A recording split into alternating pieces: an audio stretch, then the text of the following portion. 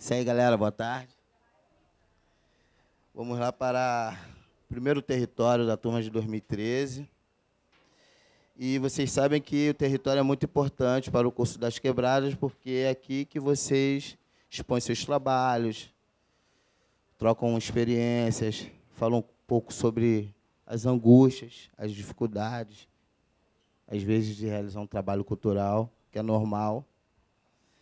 E o nome da mesa é Inquietações, é isso, né? E nós vamos ter aqui a mesa é, Rogéria Reis, que vai falar sobre a escrita que nos, trans, que nos trama, a escrita que nos trama. Ela é graduada em Ciências Sociais, poeta, participante do grupo dos novos escritores do projeto literário FLUP.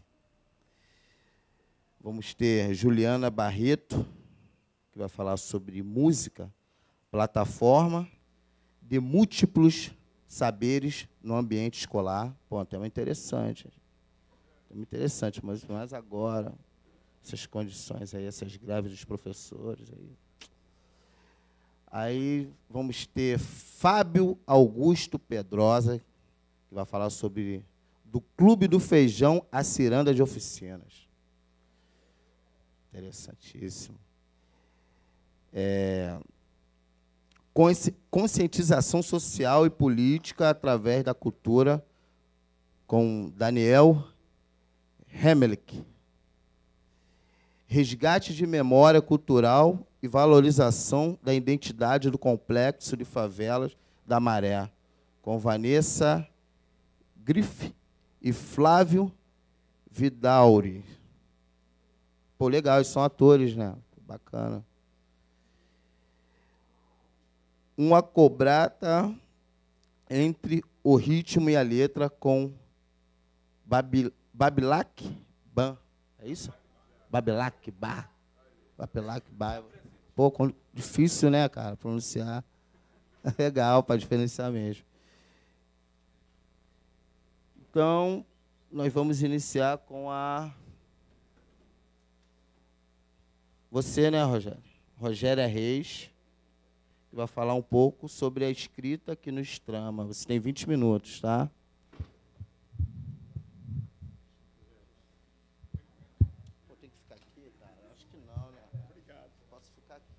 Boa tarde, quebradeiros.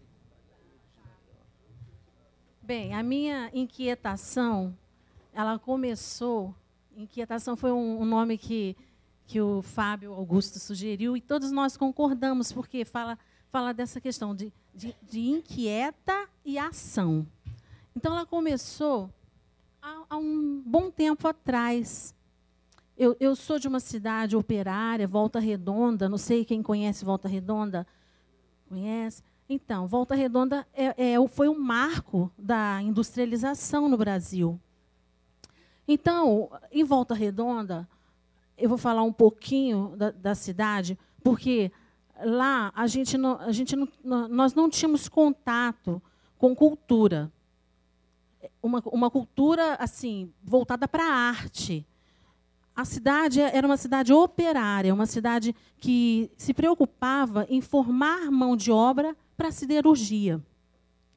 E então nós costumamos brincar com a, com a, com a cidade, dizer que ela tem a cor cinza. Volta Redonda não é uma cidade colorida, é uma cidade cinza. Cinza pela fumaça e cinza também pelo, pela indumentária do, dos funcionários, que antes o uniforme era cinza, e você via muito então a cidade a gente dizia que era cinza. E, e eu já me inquietava com essa questão de não ter um, um investimento, um incentivo à cultura. Mas não me sentia em nada preparada para isso. Então, estudei, fiz a minha faculdade, fiz enfermagem, porque as opções ali eram poucas, eram biologia, era direito, enfermagem e pedagogia. E eu fui fazer enfermagem. Me casei e como o, com, com o neoliberalismo, toda essa questão aí do desemprego, a, a, usina acabava não abarcando todos os operários, fui com meu esposo viajar. É, ele em busca, eh, em busca de serviço e eu fui acompanhando. E eh, tá, nisso que eu, que eu fui viajar, viajei para cidades do interior, nova ainda, me preocupei em trabalhar, porque eu fui treinada para trabalhar. O meu pensamento era esse: trabalhar. Trabalhei, trabalhei, trabalhei, e os anos foram se passando. Nesse rodar o Brasil, acabei chegando no Rio de Janeiro. E o que eu achei interessante, que, que me chamou a atenção, foi quando eu li o, o, A Hora da Estrela, da Clarice Lispector, que, do personagem Macabeia. E quando eu cheguei aqui no Rio de Janeiro, era assim que eu me sentia, uma Macabeia. Perdida, um olhar perdido. Eu não conseguia me, me situar, não conseguia me identificar. O, o, tempo foi passando, aí entra nessa questão também do, do corpo, do, do, corpo que vai sofrendo ao longo do tempo transformações, e você olha no espelho de repente e não se reconhece mais. Na sua cabeça você está pensando naquela jovem de 18 anos, mas quando você olha no espelho, você não se identifica. Eu pensei que fosse ter uma coisa só minha, mas eu vi um, um poema que a Denise, a Denise, a Denise Lima postou e que fala bem disso.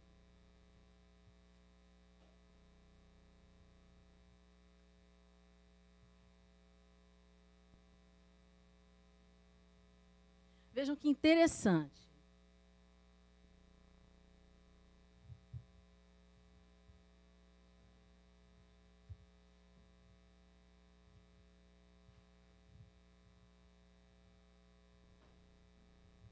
Poema da Denise fala dessa dificuldade também de se, de se identificar.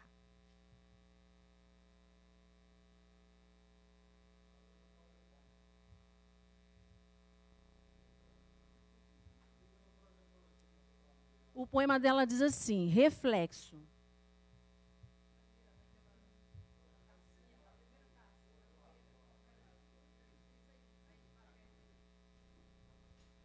Veja que interessante o poema da nossa quebradeira Denise. Eu preferi escolher um poema dela até para a gente fazer essa interação. Tenho, tenho saudades, tenho saudades do que ainda não sou, da mulher que antevi no espelho passando batom. Um reflexo rápido que desnudou minha alma. Uma fração de segundos que me mostrou quão facetada sou que minha mentira é a mais pura verdade para a menina no espelho. Veja que interessante. Eu era exatamente assim que eu me sentia. E tá aí com, com o neoliberalismo, toda a questão do, do desemprego. Eu, como, como eu falei para vocês, eu, eu, eu, vim de uma cidade onde, não, além de não se investir em arte, muito pouco em cultura, e, e uma cidade também de área de segurança nacional e nós sentimos ali a ditadura é, como foi como estudamos como estudamos aqui. Não se tinha aula de filosofia não se tinha aula de sociologia. Então o que que, que aconteceu? Eu trabalhando eu tive um conflito no meu local de trabalho e quando eu fui conversar com a minha chefe ela disse, ela disse assim para mim eu fui falar para ela assim olha essa é, mais, essa é a minha mais pura verdade, é a mais pura verdade do que aconteceu. Ela olhou para mim e disse assim: Essa é a tua verdade. Falei, ué, que negócio é esse? Existem várias verdades. O relativismo, né? Então, eu, o que, que eu fui fazer? Eu fui estudar isso. Fui, fui me, aquilo me inquietou ainda mais. Eu fui estudar, fui ler. Eu comecei pelos filósofos. Aí fui descobrir que existia o relativismo cultural. E tá, passou, eu pedi conta daquele emprego.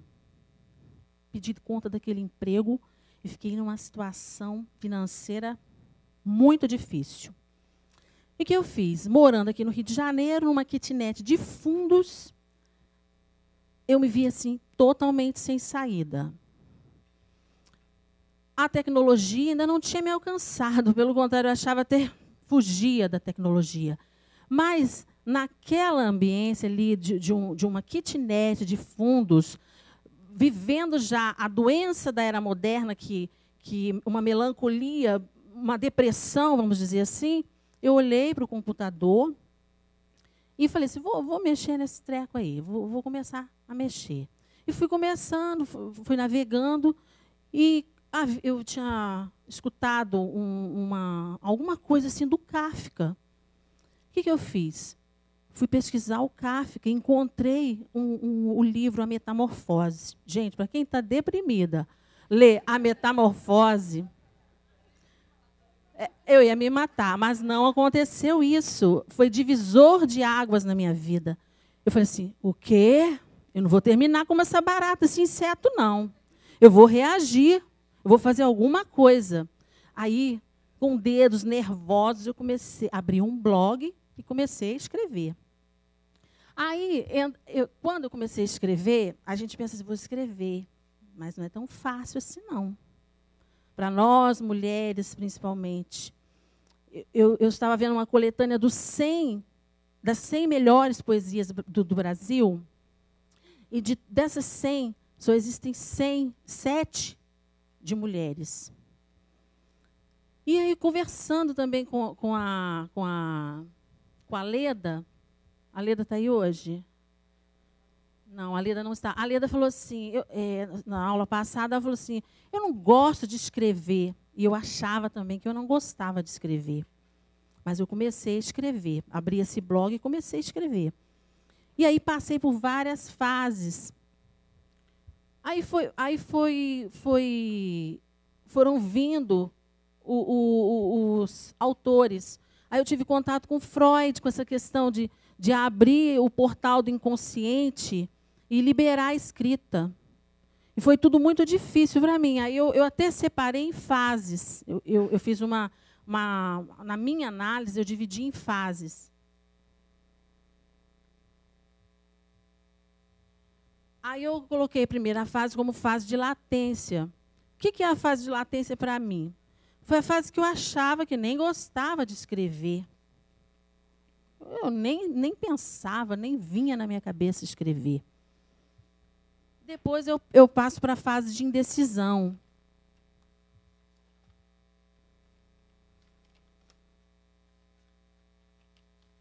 Na fase da, da indecisão, é a fase do quero, não quero. Escrevo ou não escrevo? Nessa fase, é, é, foi a fase que eu usei mais metáforas, porque eu não queria dizer, então transformava tudo em metáforas, em, em alegorias, e ali eu ia dizendo o que eu achava que devia. Usei também, é, tentei usar os heteron, heterônimos, mas não consegui, não me identifiquei, não achei legal, não. Preferi botar minha, minha cara a tapa mesmo. E a fase também que eu, que eu, que eu fui pesquisada, da mimeses, que você, que você usa um, um, uma persona né? Você cria uma persona, é, é, como você é poeta, até a flor fala, até a pedra fala por você. Né? O outro fala por você. Depois eu pulei para a fase de revolta. Aí começaram a sair as cobras e os lagartos. Aí tudo que, que me incomodava, as pessoas que me incomodavam, fui só, fui só colocando ali, malhando Judas, como diz assim. Passada a fase de revolta, que é uma fase de amor, ódio, uma misturada danada, eu fui para a fase do desabafo. Ali eu narrei meus sucessos, meus insucessos. Narrei tudo nesse período, nessa fase. Depois eu fui para a fase reveladora e expiatória, que eu, que eu chamei de reveladora. Aí eu confessei os meus pecados. Comecei a botar meus podres no papel essa fase foi a fase mais confusa. Que, que se eu já estava confusa, minha cabeça fez um giro de 360 graus. E, mas, após confessar os meus pecados, após colocá-los no papel, registrá-los, eu me senti purificada, me senti leve. É como se eu tivesse lavado a minha alma, expulsado os gênios maus, os demônios, seja lá que nome se dê a isso. Essa fase é uma fase de muita angústia também, né? que você começa a se conhecer. É quando você para para olhar para dentro de si. E, sobretudo, para quem é religioso, que era o meu caso. E essa fase, normalmente, ela não é publicada. Aí eu tive conversando com a Juliana, a Juliana assim, a Juliana, a, a quebradeira Juliana, ela disse assim, eu tenho, eu tenho um livro guardado na gaveta. Muitas mulheres têm livros guardados na gaveta. Muitas mulheres escrevem, mas têm os seus livros guardados na gaveta. E, e o objetivo desse meu território é incentivar, é motivá-las a escrever. Escrever Ser escritora é uma coisa e ser autora já é outra, que já passa pelo crivo de uma editora, mas escrever, todas nós podemos e faz muito bem. Então, depois que, que essa, essa fase também é a fase que você escreve rasga, escreve queima, escreve risca. Essa fase que você quer contar os pecados, mas não quer que ninguém saiba dos seus pecados. E é uma vontade também que, que é uma fase da vontade de desistir. Porque você vai se descobrindo, poxa, mas quanto podre, meu Deus. Aí você pensa assim, eu vou desistir, aí vou deixar isso para lá, não quero saber nesse negócio de escrever, não. Mas passada essa fase, vem a, a fase que eu chamei de acomodação. Que é onde o, o escritor passa a ter mais intimidade com a escrita, ele pa passa a se sentir mais confortável, mais livre, mais tranquilo. E ela é uma, é uma fase que marca a superação de todas as, as fases anteriores. E, e, e eu fiquei, de início, quando eu, eu me inscrevi para o território, eu achei que, que eu não seria capaz, porque é uma coisa tão íntima, tão individual. Mas ao ler o, o Walter Benjamin, eu pude entender que eu estava inserida num contexto social capitalista que era individualista. E, e quando eu vim aqui, eu vi, vi pessoas já pensando no coletivo. E eu ainda estava naquela fase de resolução interna, de, de, de, de, buscar, de, me, de buscar minha identidade.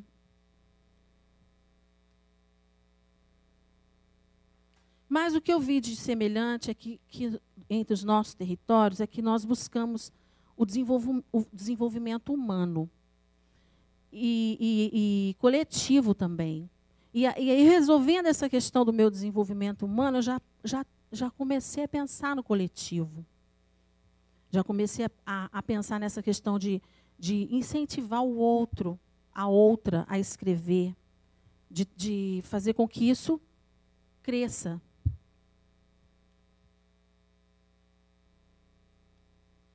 Então foi dessa forma o meu relacionamento com a escrita. Eu tentei passar para vocês aqui, é, resumidamente, porque é, é, extenso, entra vários autores, entra é, que, que eu fui pesquisando, que, que foram tendo, que fui me envolvendo nesse, nesse processo da, da, da escrita que me tramou. Né? E eu fui ver o que, que é, é o significado de tramar. A trama é o enredo, é, onde você, você tem um protagonista. E, e, o Walter Benjamin ele fala disso, que você, nós, é, com, a, com, a, com o capitalismo, nós perdemos essa questão da narrativa coletiva e passamos a, a focar num, num, protagonista. E eu me encontrava nessa, nesse quadro, como, pro, como uma protagonista dessa minha história, dessa minha busca. E, e ainda eu ainda busco romper, ainda busco essa minha identidade. E a escrita é ela que me propicia, tem me propiciado isso, essa, essa identificação. É, adentrar, eu até, eu até coloquei uma frase final aqui, que expressa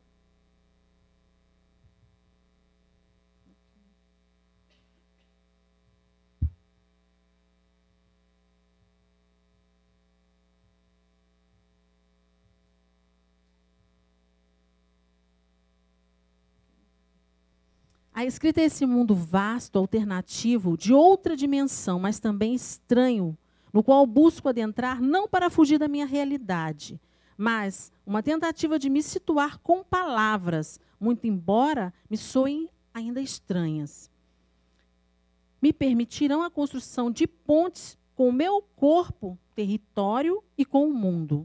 Definitivamente, ainda não alcancei a minha hora da estrela. Iniciei o processo apenas. Então, eu, eu encerro o meu território, espero ter passado, passado como diz, vai, vai se transformar no meu projeto, porque tem, tem, entra na, na, no campo da psicanálise também, entra no campo dessa busca de identidade, de uma pertença.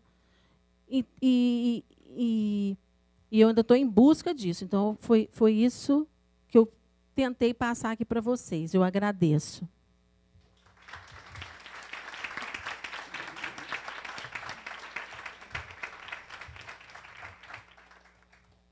Isso aí, valeu, Rogério. Muito bom. Terminou até antes, hein? Treinou direitinho, fez dever de casa. Vamos às perguntas, então. Oi. É com relação ao livro de gaveta. Eu também tinha um que iria ficar lá a vida inteira. Aí você disse que tem diferença entre ser escritora e autora. Você pensa em sair da escritora e passar para autora? Já tem algum contato com editora, proposta? Olha, eu estou no projeto Flup Pensa e, e ainda não, não, consegui definir. Porque a partir do momento que você vai. vai a, a, realidade do autor ela é bem diferente do, do escritor. Porque o escritor, você, no, no escritor, você está livre para escrever o que você pensa. E já no, no autor, eu passo que, pelo crivo do, de um orientador lá na, na Flupensa, que é, que é o Omar Salomão, é o meu orientador. Então, eu passo pelo crivo. Aí, aí ele, ele me dá dicas, muitas boas, mas tem algo, algumas coisas, às vezes, que eu não concordo com ele. Então, a gente vive se debatendo. Eu acho que é por aí essa questão do, do, do autor. Para ser sincera, eu ainda não tenho certeza, porque a escrita para mim foi, foi mais psicanalítica mesmo, uma descoberta, um desabafo, e eu ainda não tenho essa resposta para te dar. Ok. É, você falou sobre a, a, um pouco da sua história até chegar nessa questão da, da escrita, né? E para mim é super importante conhecer o outro e conhecer a história do outro, né? Mesmo a gente vivendo nessa sociedade tão turbulenta, tão conflituosa, né, trabalho, é, essa rotina casa-trabalho, enfim. E, e, algo que me chamou muita atenção, que é dentro da, da, da palavra, da, dessa palavra tocada e sentida, que é, você falou da introdução do ser social, desse ser que se reconhece na sociedade, que aí entra a relação de pertencimento. É, e é uma coisa que eu me preocupo muito, assim, dentro da, da, da escrita, né, eu tenho uma facilidade de escrever, e também na oralidade. Né? Muita gente fala, nossa, mas você, você fala tão bem. E tudo é uma questão de leitura, né? de leitura, né? de, de entender o mundo através não só da leitura, mas das vivências. E eu estava, há pouco tempo atrás, no 13º encontro, no 13º encontro de saúde pública da USP, e uma estudante de psicologia no último ano me questionou se eu tinha estudado Deleuze ou Foucault. E eu falei, não, eu não estudei Deleuze nem Foucault. Ela falou, não, mas é porque você fala de coisas muito precisas, né, de, de assuntos assim muito, muito bem elaborados, bem abordados. Aí eu falei, não, eu não preciso cruzar minhas pernas e fazer citações de Deleuze e Foucault para me ter uma vivência, para me falar de determinados assuntos. Eu vejo que nós vivemos numa sociedade vazia, né, vazia de história, vazia de, de, de diálogo mesmo, e, é, e, entra essa relação de pertencimento, que é uma preocupação que eu tenho, não só como artista, mas como um, um ser que faz parte de uma sociedade, independente se é uma sociedade capitalista ou não. Né? Eu falo desse ser que compreende o outro na sua instância, da sua existência né, sublime, né, desse ser que é capaz, que todo ser humano é capaz, todo ser humano é criativo, todo ser humano pode fazer um território, e essa é a minha, é a minha meu posicionamento. Obrigado. Boa tarde. Você fez, você fez uma, uma observação, na verdade, você mencionou um tema que eu acho. Desculpa. Você mencionou um tema que eu acho interessante, que é a questão de, das 100 poesias, né, as 100 consideradas melhores poesias, enfim, apenas sete eram de mulheres. Nesse teu caminho de se aproximar da. Putz, nesse teu caminho de, de, de entrar no, no mundo da literatura, da escrita, você pôde vivenciar essa dificuldade da inserção da mulher como escritora, como autora? Você já viu isso latente? Como você, na sua opinião, como está esse processo de inserção e de reconhecimento da mulher na literatura hoje? O Omar, a gente discute muito sobre isso, porque o Omar, ele, ele além de ser homem, ele é jovem. Então ele, ele fala assim, Rogério, você usa, você, a sua escrita é lá do século XIX, é, né? Você é muito é, é, delicadinha. Ele fala assim, seja mais agressiva, mais, mais é, põe o sangue latino mais em evidência. Então eu falo para ele, assim, Omar, pera lá, eu sou mulher, entendeu? Aí eu estou sempre frisando isso para ele. E, e, essa escrita minha, é, ela ainda é um desabafo. Eu estou nessa fase, ainda vou. São fases que você vai vivendo e você vai, você vai agregando valores. Você vai, pro, não digo progredindo, não, é uma questão de progressão, mas você vai, vai passando essas fases. Então é, é, bem isso mesmo. A gente ainda sente essa dificuldade. Aí eu, eu, no meu diálogo com ele, como ele é uma pessoa muito aberta, embora ele seja jovem, homem, mas quando você dialoga com ele, ele se coloca na posição de, de um ouvinte. E ele repensa, ele vai repensando e a gente vai ali buscando o, o, o equilíbrio. E assim a gente vai caminhando. Opa, tudo bom? Boa tarde, boa tarde para todos. É, você falou de algumas fases ali que eu prestei atenção, só que na hora que eu estava anotando aqui, eu não sei se você mencionou a questão da tua descoberta da criação. Eu não sei se estava escrito, porque não, não deu tempo de perceber. Né? E, ao mesmo tempo, você falou do conflito que você vive atualmente com orientação e você meio que bate um pouco de frente, ou, ou talvez bata realmente de frente. Como é que você vê esse momento das tuas fases e quando você se sente criando de verdade algo em termos do que você se propõe como escritora? Eu me vejo criando em, em todos os momentos, porque eu, eu, faço as minhas criações e apresento para o Omar. E o Omar, ele era muito curioso, ele queria saber do meu eu lírico. Dizem que são mulher, que as mulheres que são curiosas, né? mas o Omar ele, ele ficava super curioso para saber do, meu, do eu meu lírico. Eu falei assim, Omar, não adianta, eu não te conto nem que a vaca tussa. então, é, é, a, a todo momento eu estou criando. E e mesmo com, com a, a, às vezes as críticas dele que não são tão positivas, mas mesmo assim agora depois de nós dialogarmos, ele me dá liberdade para me para me fazer as modificações se eu quiser fazer. Então eu, ainda eu me sinto livre, mas eu acredito que no, numa editora, não sei, pelo menos numa, numa questão de editora, isso já é complicado, né? Rogéria, você falou no blog, né?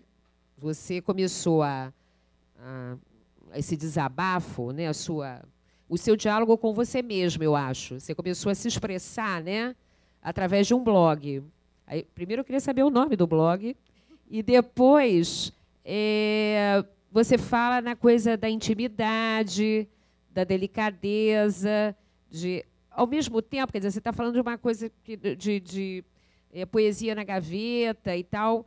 Mas quando você está no blog, você está colocando para o mundo. Você está se colocando para o mundo. Né? Aí como é que é isso? Como é que isso acontece? Né? Então, é aquela fase da indecisão. É, é, você quer, mas não quer. Quer, mas tem medo.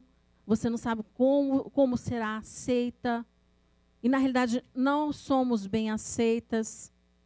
A família é, cria um impacto na família cria um impacto nos, nos amigos. Você escreveu isso? Você, entendeu? Essa coisa do eu lírico acaba não funcionando muito bem, não. As pessoas não caem muito nessa, nesse conto do, do, do, do, do eu lírico, não. Então as pessoas confundem, confundem, não sei se, né, não posso dizer que confundem, mas elas acabam mesmo não sabendo quando você está tá, tá, tá, tá usando a ficção ou quando você está usando a realidade. Então, essa confusão. Mas é, o que é interessante escrever no blog é isso, que você brinca com as metáforas. Você fala e deixa sempre as pessoas com dúvida se é você mesmo falando, quando você usa persona, ou se, ou se é o, a persona. Então, é, é, é as pessoas podem. Tipo assim, você está se revelando, mas não está. O, o imaginário das pessoas não consegue definir. Embora eles falem, ah, é você, mas você tem sempre esse, esse esse subterfúgio de dizer não. Não, não, aí foi uma persona. Entendeu? Quando é, é, quando, é, quando nos é quando é conveniente, você põe culpa na, na persona. Pois é, mas você, você quando cria o blog, quando escreve nele, quando você se desab... né, você está se expondo. Você está, você ali já está publicando, né? Alguém falou aqui em publicação, mas ali você já está publicando. Você já está se colocando para o mundo. Então, né? é, mas a, a, quando a gente fala da, da publicação, eu penso nessa questão da editoração, que aí já né, dá um corte aqui, dá um corte ali. Mas a, a, o blog, você. Eu me sinto livre, eu me sinto à vontade no blog, sabe? No início, não. Algumas coisas que eu escrevi, eu falei. Hum. Mas depois, como eu falei, a gente passa por essa fase e entra na resolução, que você fica mais tranquilo, vai, vai, perdendo a vergonha na cara, vamos dizer assim, né? e vai, vai se soltando, vai, vai dando vazão à sua criatividade, ou às suas verdades, né? ou às suas ficções, você vai, vai colocando ali. Gente, vamos fazer só mais uma pergunta, porque já estourou o tempo praticamente. E ele está ele tá desativado, próximo, próximo que eu acabei agora, agora eu escrevo mais no, no Face né? Ele está desativado, mas é R desidério. R desidério. Não, está desativado assim. Está é, é, tá, tá parado. Eu não tenho publicado muitas. É, não está atualizado.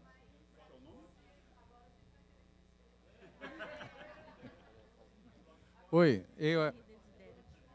Blogspot, Blogspot.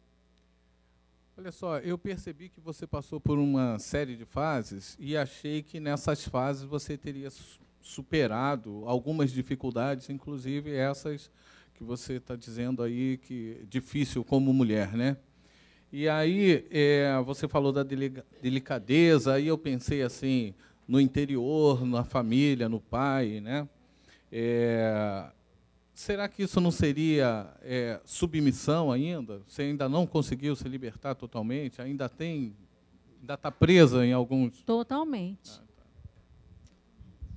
tá. Isso aí você encerrou as perguntas, galera. Depois você cerca ela ali fora.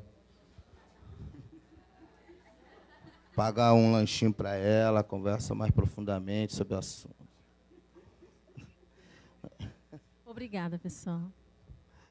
É, agora nós vamos ouvir Juliana Barreto para falar sobre música, plataforma de múltiplos saberes no ambiente escolar.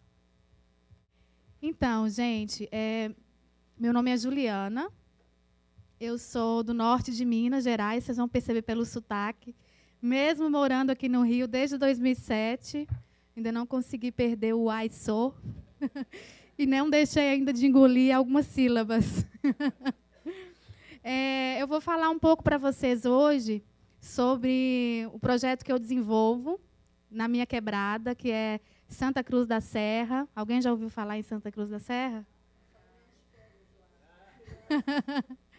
e estou desenvolvendo um projeto especificamente esse ano, esse ano na comunidade de Xerém.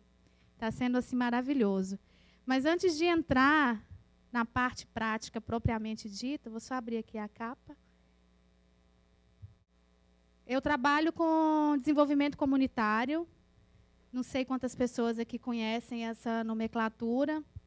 É desenvolvimento humano também, mas é um trabalho especificamente voltado para comunidades. Então, gente, é, eu nasci no norte de Minas, meus avós tanto paternos quanto maternos, eles são baianos. E a cidade onde eu nasci, costumam dizer que é o restinho da Bahia, porque a gente faz divisa com o sul da Bahia. Então, meus avós eles foram para Montes Claros para trabalhar, para é, procurar uma vida melhor. Montes Claros hoje é uma cidade de porte médio, com 500 mil habitantes. E desde aquela época até os dias de hoje, ali no norte de Minas, ela se caracteriza como a cidade principal.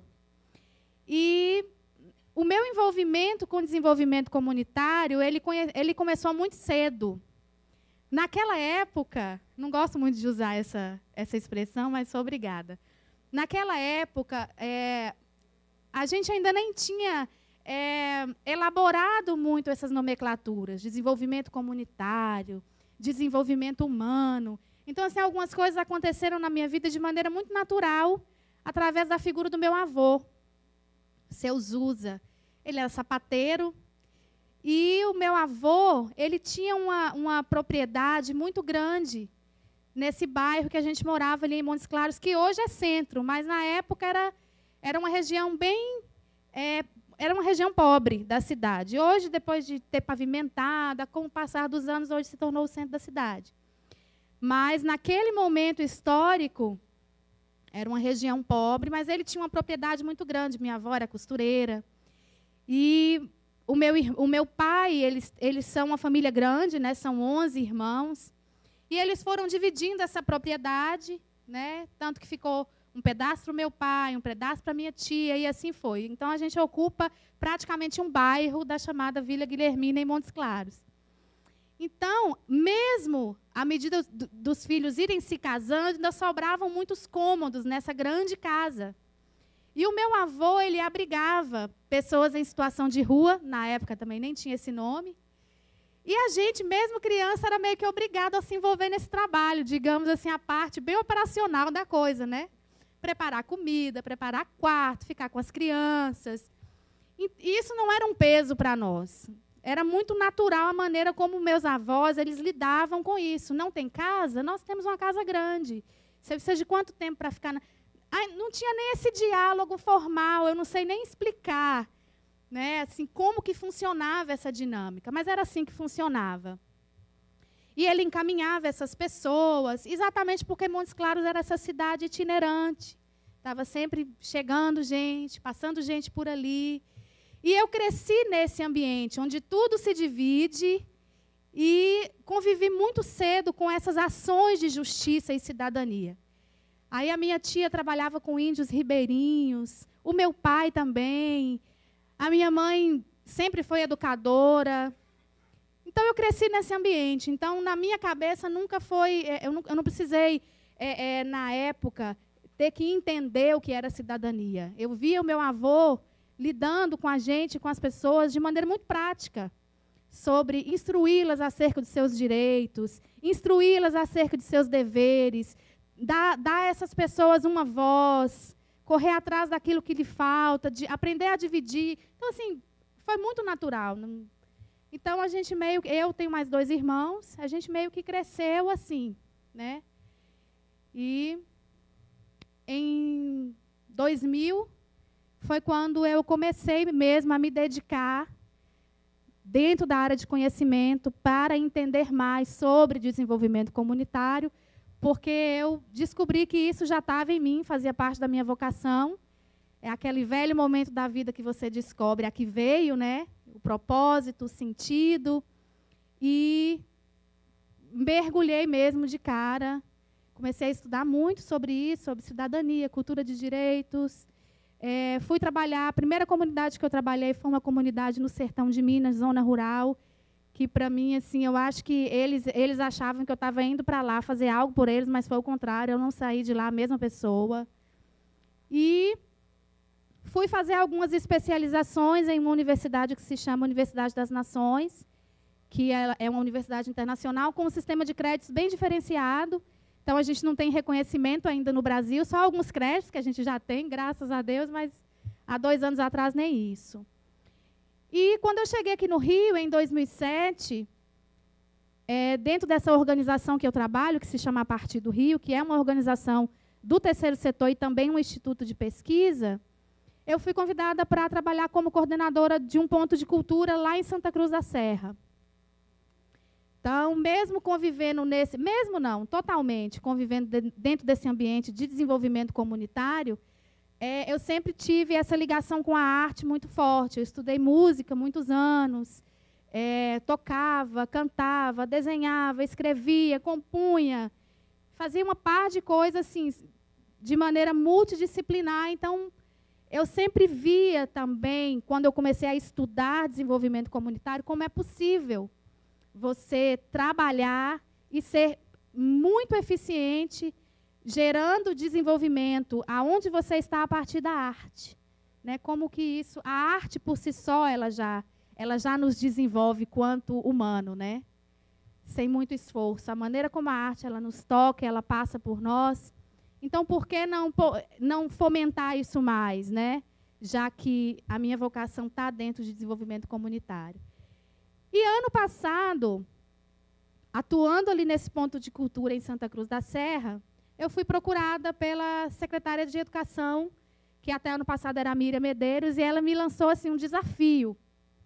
Que, como organização, a gente está em Santa Cruz da Serra já há 20 anos, então a gente já faz um trabalho lá com crianças da comunidade, dentro dessa área de artes. E ela me procurou e me desafiou a levar o ponto de cultura para dentro do ambiente escolar. Então, assim, foi um desafio enorme. Eu falei, gente, e aí, vou, vou encarar, vou. Como é que vai ser isso, né? Até então eu nunca tinha trabalhado dentro do ambiente escolar. Né? Sempre acreditei muito na instituição, porque eu acredito muito na educação, acredito que tudo passa pela educação. Falei, ah, vamos tentar, vamos fazer um laboratório. Só que aí antes nós nos juntamos como equipe e decidimos descobrir quem é esse menino, quem é esse aluno da Rede Municipal de Ensino de Caxias. Eu acredito que esse é um diferencial desse projeto, por, primeiro porque ele nasceu a partir de uma demanda dessa cidade, dessa comunidade, e ele foi feito, ele foi pensado, ele foi gerado para alcançar exatamente as características peculiares do meu público-alvo, que é esse aluno. Então, o TA ele não foi assim criado a partir de uma experiência que deu certo. Ai, fizemos um projeto uma vez, um trabalho com a música, e deu tão certo, vamos fazer isso em Caxias também. Não. Depois de muito tempo de pesquisa, depois de ter cruzado os dados e visto o perfil especificamente do aluno da rede municipal, que há uma diferença, né? quem trabalha com educação aqui sabe, há uma diferença muito grande, a rede municipal, a rede pública. Então, ele foi todo pensado para esse público, com um diferencial, com um agravante, que quando a secretária me procurou, elas, eles estavam enfrentando alguns problemas com escolas específicas que vinham sofrendo episódios recorrentes de violência. Uma dessas escolas culminou com o assassinato de um professor, outra escola foi o assassinato de um aluno que assassinou outro aluno, então era um contexto de violência. E, a partir dessa pesquisa, nasceu o TA, que é Tecendo Educação e Arte Referenciadas. Vamos ver se eu vou conseguir. Então, vou mostrar para vocês um pouquinho do que, que é o projeto, o objetivo geral. Vocês vão ver que a maneira como eu elaborei o projeto está um pouco diferente, porque eu já apresento o resultado. Né? Quando eu coloco aqui o objetivo geral, já estou mostrando para vocês o que eu quero gerar, através do TA, que é esse ambiente de diálogo em rede, que também é fruto de pesquisa nesses anos, trabalhando em comunidade. estava conversando isso lá fora. É, isso é um, é um pensamento pessoal e também vem encharcado com esses anos de experiência. Eu converso com muita gente que trabalha em comunidade, que pioneirou projetos, que pioneirou trabalhos, e hoje estão extremamente cansados, extremamente frustrados por causa dos esbarros, que são muitos, as dificuldades sistemáticas, digamos assim. Mas eu acredito que um trabalho comunitário ele se faz com a comunidade, não apenas para a comunidade. Então, por isso que eu coloco aqui que é esse ambiente de diálogo em rede. Então, eu não tenho a pretensão de chegar numa escola, diretora, eu vim salvar vocês. Não. A gente é uma coisa que todo o tempo ela é pensado junto, construído junto. A justificativa do projeto foi a carência que a gente observou nesse tempo de pesquisa da arte mesmo no ensino no ensino público, que acaba desumanizando não só o ambiente, mas também as pessoas, né? a falta de estímulos visuais, estímulos auditivos, que faz com que essas pessoas acabam absorvendo tudo que vê, tudo que ouve, tudo que tudo que tudo que tocam, né? E são escolas em cenários onde no seu entorno não contam com nenhum tipo de iniciativa artístico-cultural. Ano passado eu fui trabalhar numa escola que ao redor dela tinham 150 indústrias. E, a, e, e professores com projetos brilhantes dentro de artes, mas que não conseguiam tirar esses projetos da gaveta, porque nesse cenário específico, eu estou enfatizando muito o cenário, gente, porque eu sei que a gente sempre compara o que houve. Não, mas lá não é assim. Eu estou falando de um cenário específico, tá? É, nós estamos falando aqui de regiões que realmente não têm mesmo um teatro, um sarau, embora nosso amigo ali, cadê o Fábio, nos, nos abençoou né, com o sarau semana passada ali na. Então, tem algumas iniciativas, mas são poucas. Então, nós estamos falando de escolas que se propuseram a serem esse lugar que, que fala de arte, que pensa culturalmente, para gerar acesso para essa criança, para esse adolescente. Mas eles não conseguem por quê? São cenários onde a demanda social dessa escola ocupa praticamente todo o tempo desse diretor e desses professores. São escolas assim que para você conversar cinco minutos com a diretora, você tem que ficar, você faz uma pausa mais ou menos 30 vezes, por causa de um pai que chega, um aluno que chega, uma mãe que chega, uma avó que chega, um irmão que chega, ou seja, é uma demanda social tão grande que pedir para que esse professor também desenvolva um trabalho artístico na escola, uh, é pedir muito. Então, a gente tentou ser, a gente tem tentado ter, ser esse fôlego.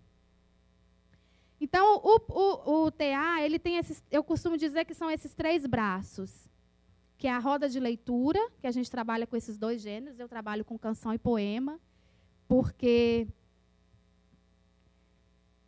não tem como você separar o poema da canção, eles estão juntos e tem, e tem que ser trabalhados de maneira bilateral.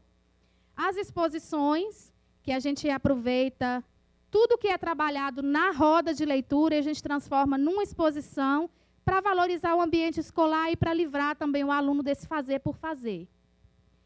E o ciclo de palestras, que acaba sendo um tempo de diálogo com esses professores sobre vários temas, onde a gente vai trocar experiências, mas bem direcionado dentro de temas específicos. Falando um pouquinho sobre o que é a roda de leitura, o foco da, da roda com os meninos é tirar eles da superficialidade textual da música. A gente vai trabalhar várias questões dentro da música. Então, na prática, como que funciona? Geralmente, quem escolhe a música é o aluno que está naquele. São os alunos daquele determinado grupo. A gente reproduz essa música, a gente faz uma votação, é muito burocrática, a gente elege uma música. E dentro dessa música, eles vão ter que criar, mas também aprender vários contextos textuais vários contextos linguísticos. A gente vai estudar a metáfora, a gente vai estudar o silêncio na música. Por quê? Por que, que, por que, que eu escolhi a música? Por que, que eu elegi a música para ser o carro-chefe do teatro? Exatamente porque a música ela é sensível a todas as transformações das artes. A música ela, ela muda facilmente. O pensamento mudou, a música muda. A sociedade mudou, a música muda. A música ela não tem, ela não tem apego à resistência, ela se transforma, ela se metamorfoseia sem nenhum, sem nenhum pudor. Então foi por isso que a gente, por isso que eu elegi a música. E porque a música ela é, ela é totalmente acessível, gente, em qualquer lugar do mundo, em qualquer comunidade ribeirinha, indígena, qualquer lugar onde você chegar, a música ela já está a gente chega depois dela. Então, por isso que ela que é o veículo. Então, os meninos vão transformar esse texto. Primeiro, eles vão entender o texto na música. E eles vão criar a partir disso desenhos, saraus, músicas, canções, pinturas. E vão aparecendo, vão surgindo várias, vários talentos. A gente gera só a plataforma. A gente discute os temas, trabalha com as materialidades trabalha muito o resgate da cultura, porque a gente está falando de cenários que são desprovidos de iniciativas artísticas, então, naturalmente, nós automaticamente estamos falando aqui de indivíduos que precisam passar por esse entendimento do resgate cultural, porque a arte ela nos dá muito isso, ela nos fala muito, a gente descobre muito facilmente através da arte de onde nós viemos, quem nós somos, para onde nós vamos. Então, por isso a gente faz todo esse trabalho de resgate cultural, trabalha muito a socialização. Estamos falando de ambientes de muita intolerância, de muito bullying. Essa escola que eu estou trabalhando esse ano tem uma em específico que a, a porta da escola se tornou um palco de guerra, as brigas são marcadas no, na rede social e as crianças vão para a porta brigar. Tem acontecido brigas homéricas, casos de estupro, episódios de violência mesmo. Então, a gente precisa tocar na socialização, humanização. Os gêneros musicais que eu escolhi, baseado naquela pesquisa que eu falei com vocês no início, é o rap, o funk e o samba. Por quê? O rap, primeiro porque são gêneros que para eles não, não são desconhecidos. É parte do repertório musical, é parte do repertório do que eles ouvem, do que eles falam, do que eles carregam no celular. Então a gente não vai precisar inventar nada, já está tudo ali.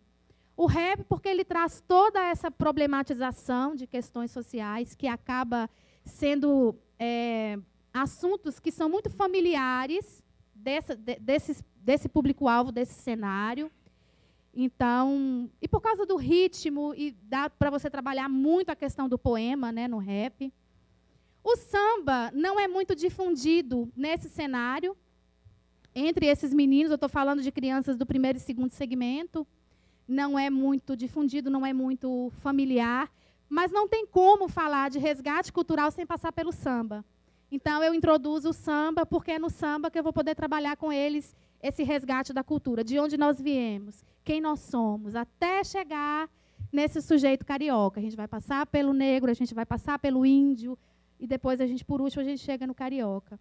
O funk, porque é o ritmo mesmo mais difundido, é o que eles ouvem mesmo, é o funk. Então, a gente aborda muito a questão da, da indústria comercial. Só que a gente tem um movimento de resistência dentro do, dentro do próprio funk, em algumas comunidades cariocas que nos dá um respaldo para trabalhar muito alguns valores bem profundos, que é o que a gente quer trabalhar com eles, de diversidade, tolerância, responsabilidade, cidadania mesmo, que é a plataforma. Então, é, é tranquilo trabalhar com eles, em relação ao funk. As exposições, já é um pouco do que eu falei, qual que é o objetivo. Tudo que a gente compõe porque a roda de leitura, além de ser um lugar de, de gerar conhecimento, também é um espaço de composição onde eles vão compor a leitura deles sobre aquele texto musical, a leitura deles sobre aquele ritmo, sobre aquela melodia. Então, todo esse material a gente junta e faz um corredor cultural na escola para valorizar a criação dos alunos e para melhorar o ambiente escolar. Exatamente porque, nesse tempo de pesquisa, eu percebi essa, essa deficiência do estímulo visual. Então, dá para se trabalhar muito no ambiente escolar, através da própria criação do aluno, essa, essa admiração do belo, essa leitura de imagens. Então, a exposição ela serve também para isso. E ela também pode ser feita de maneira oral, porque tem gente que não quer desenhar, não quer pintar, não quer, mas ele quer falar, ele quer recitar, ele quer fazer uma paródia. Então, há espaço também. E também a gente, a gente combina antes com a equipe técnica da escola que, durante o tempo do projeto, a escola também seja um abrigo de exposições. Então, por exemplo, eu estou em contato com um grupo que também trabalha com exposições. A escola, de antemão, já se prontificou a abrigar essa exposição para durante esse tempo. E a ideia é que continue, gente. A ideia é que o projeto aconteça em um curto período ou médio prazo, mas que a gente saia e o projeto continue que a gente quer fomentar e dar esse gás né, para esses profissionais, para essas pessoas. O ciclo de. Já estou acabando. O ciclo de palestras, eu já falei para vocês como que ele funciona. São alguns dos temas que a gente trabalha no ciclo. E coloquei algumas fotos deles aqui. Não coloquei muitas, porque é, eu não tenho autorização de imagem de todos eles. Então, alguns que eu já tenho, eu coloquei. E é isso, eu espero que vocês tenham entendido mais ou menos como funciona o TA e que tenha de alguma maneira é, animado, empolgado, não sei dizer, né? Como a, é inquietado. Eu acredito que como a gente está nesse ambiente que todo mundo já faz, já trabalha, já atua, para ser de alguma forma um gás. É isso.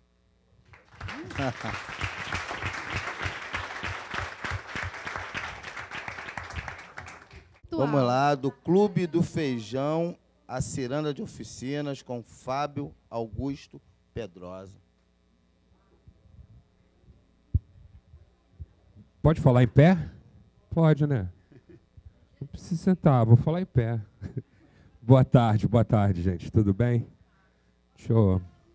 Não, é porque quero não. Estou incomodado.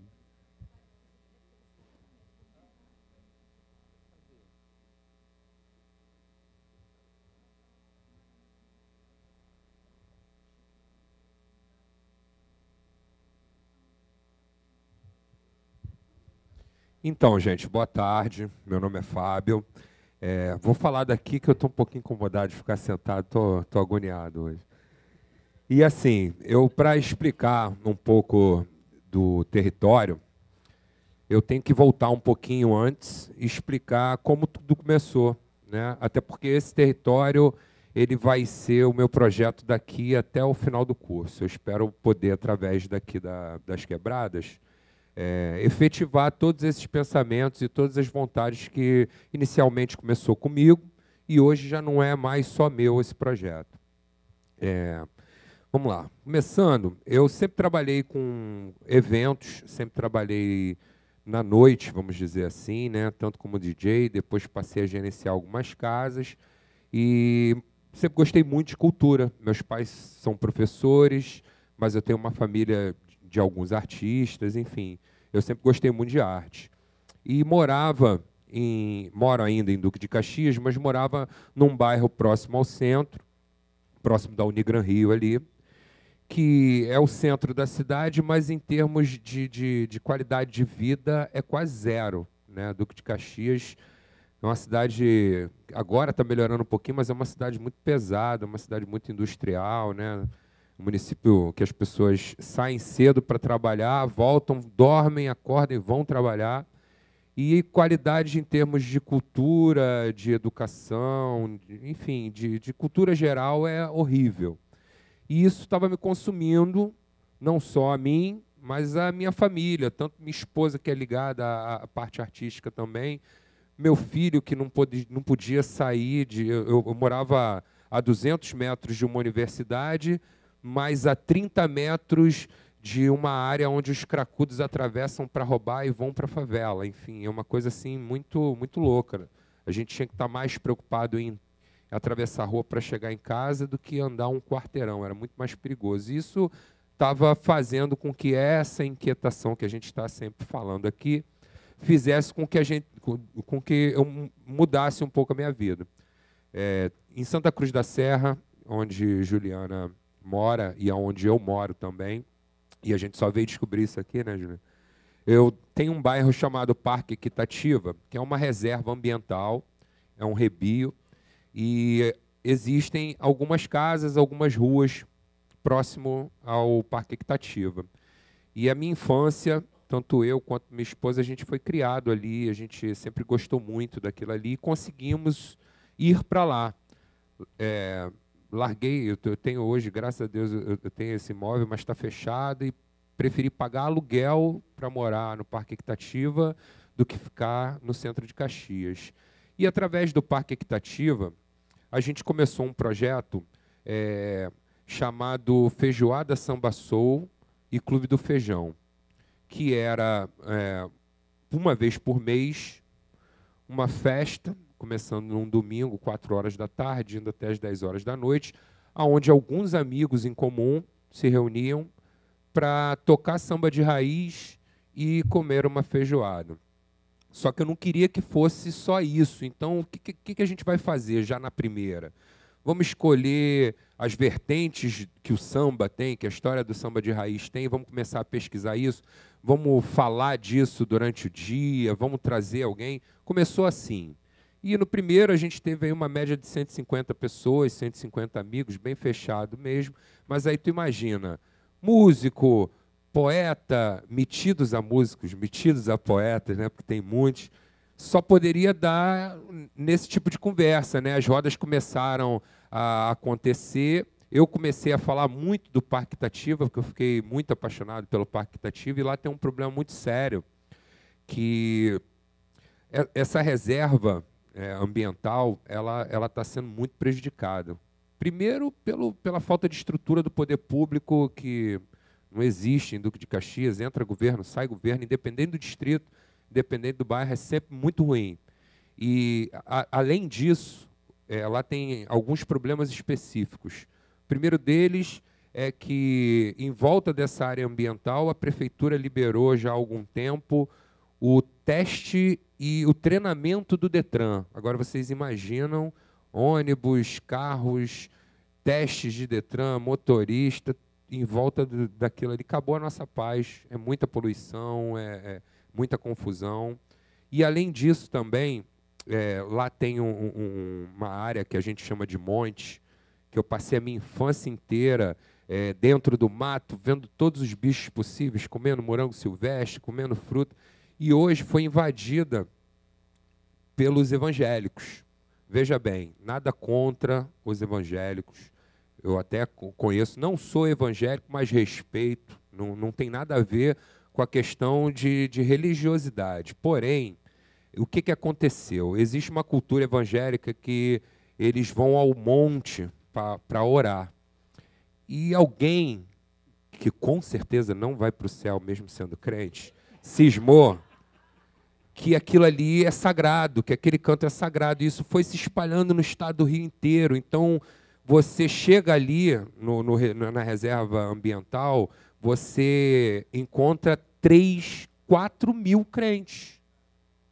E aí, cada igreja, ela quer fazer o seu canto de oração. Então, ou seja, cada igreja vai abrindo uma clareira. Vai abrindo uma clareira. E a sujeira fica no caminho. E os animais saem da mata e vão para suas casas. Né? A gente, eu, eu acordo hoje com um mico comendo lixo na minha, na minha porta, eles estão perdendo pelo, os gambás estão as enfim, tá, tá complicado. E aí, com, com esse motivo, a gente começou a analisar que também em volta do Parque Equitativa existiam comunidades muito carentes.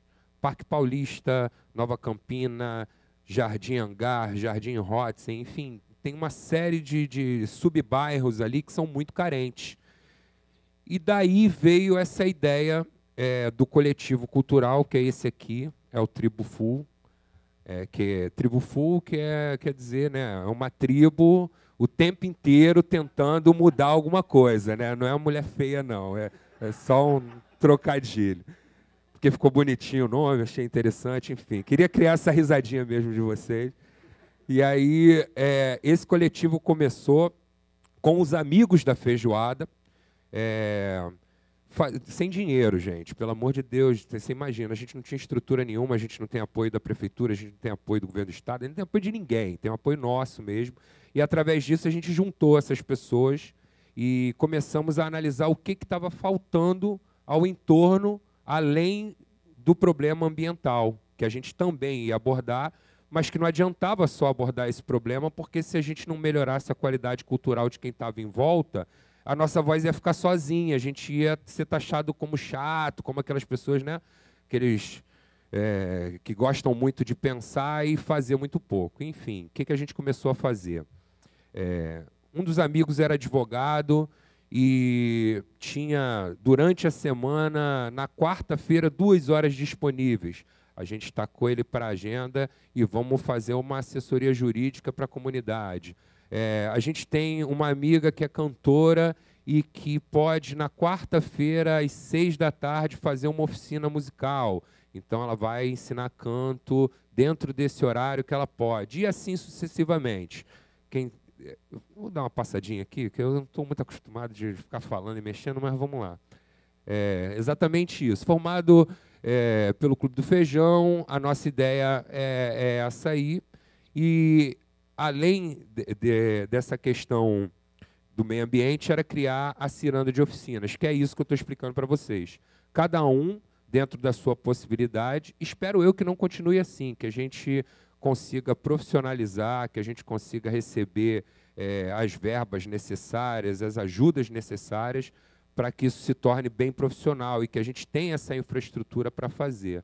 É, um dos motivos de eu estar aqui no curso, inclusive, é para me profissionalizar, para trocar ideias, conhecer pessoas, mas para aprender a fazer também. Até porque é, a gente vê que a questão da documentação, da organização dos projetos é muito importante para que eles sejam aprovados. Eu vejo muita gente com ideias maravilhosas, mas que não conseguem colocar no papel e aí vai passando, né? A oportunidade vai passando, vai passando e você não está estruturado para isso. Eu, eu quero realmente estar estruturado para pôr em prática as coisas que a gente pensa. E aí, através é, das cirandas, a gente está tentando transformar um pouco o bairro só que o negócio foi, foi crescendo do, de uma maneira é, quase que como uma favela. Foi crescendo de uma maneira desordenada. A gente inicialmente queria é, que ficasse ao entorno, mas como as pessoas são pessoas que também são de outros lugares, né? Eles começaram a levar essa ideia para outros lugares. E aí, com isso, é, a, os saraus foram acontecendo, a gente começou a, a fazer inclusive essa semana, queria agradecer os quebradeiros que foram. Lude, Nuno, Vitão, Juliana, a galera foi, deu maior força, foi lindo. Espero todos no próximo. A gente começou a fazer é, esse sarau, que é o Sarau Primavera, lá em Jardim Primavera, que é um outro bairro de Caxias que é muito musical, é muito cultural, muito bacana, tem uma história muito bacana também com o meio ambiente. E a partir desse, olha como é que é coisa louca. A gente no domingo fez Ontem, segunda-feira, a gente já recebeu a infraestrutura, o convite, o espaço para fazer já um em para fazer um no Parque Equitativa e talvez na 25 de agosto, em Caxias. Então, as pessoas ela, elas estão comprando essa briga do sarau, elas estão comprando essa briga da cultura. Mas eu ainda acho que também é muito pouco. Né? Eu acho que a ideia é unir essa parte do sarau, que é a nossa vontade, aos outros tipos de oficina. Eu tenho. É, por favor. É, aí eu venho explicando né, a realidade que a gente tem, né, não tem incentivo nenhum. Duque de Caxias é, é um município assim muito sofrido, porque se a gente for voltar lá atrás, era um município onde os prefeitos eram prefeitos biônicos, né, um movimento militar que escolhia o prefeito é, o nome era exatamente esse. Era, são prefeitos biônicos. É, o, o, o, o, militar ia lá e escolhia o prefeito, até Idequio de Freitas, que já era um prefeito que eu, que eu conheci, vivi, era biônico. E de lá para cá é, foram fases. Né? A primeira do, do prefeito que dizia que era do povo, que jogou asfalto, tinha um, um tamanho desse aqui, mas pensava que era ditador, e aí depois entrou outro que era ligado ao governador também, enfim foi muito difícil para Caxias crescer, ela ficou muito presa.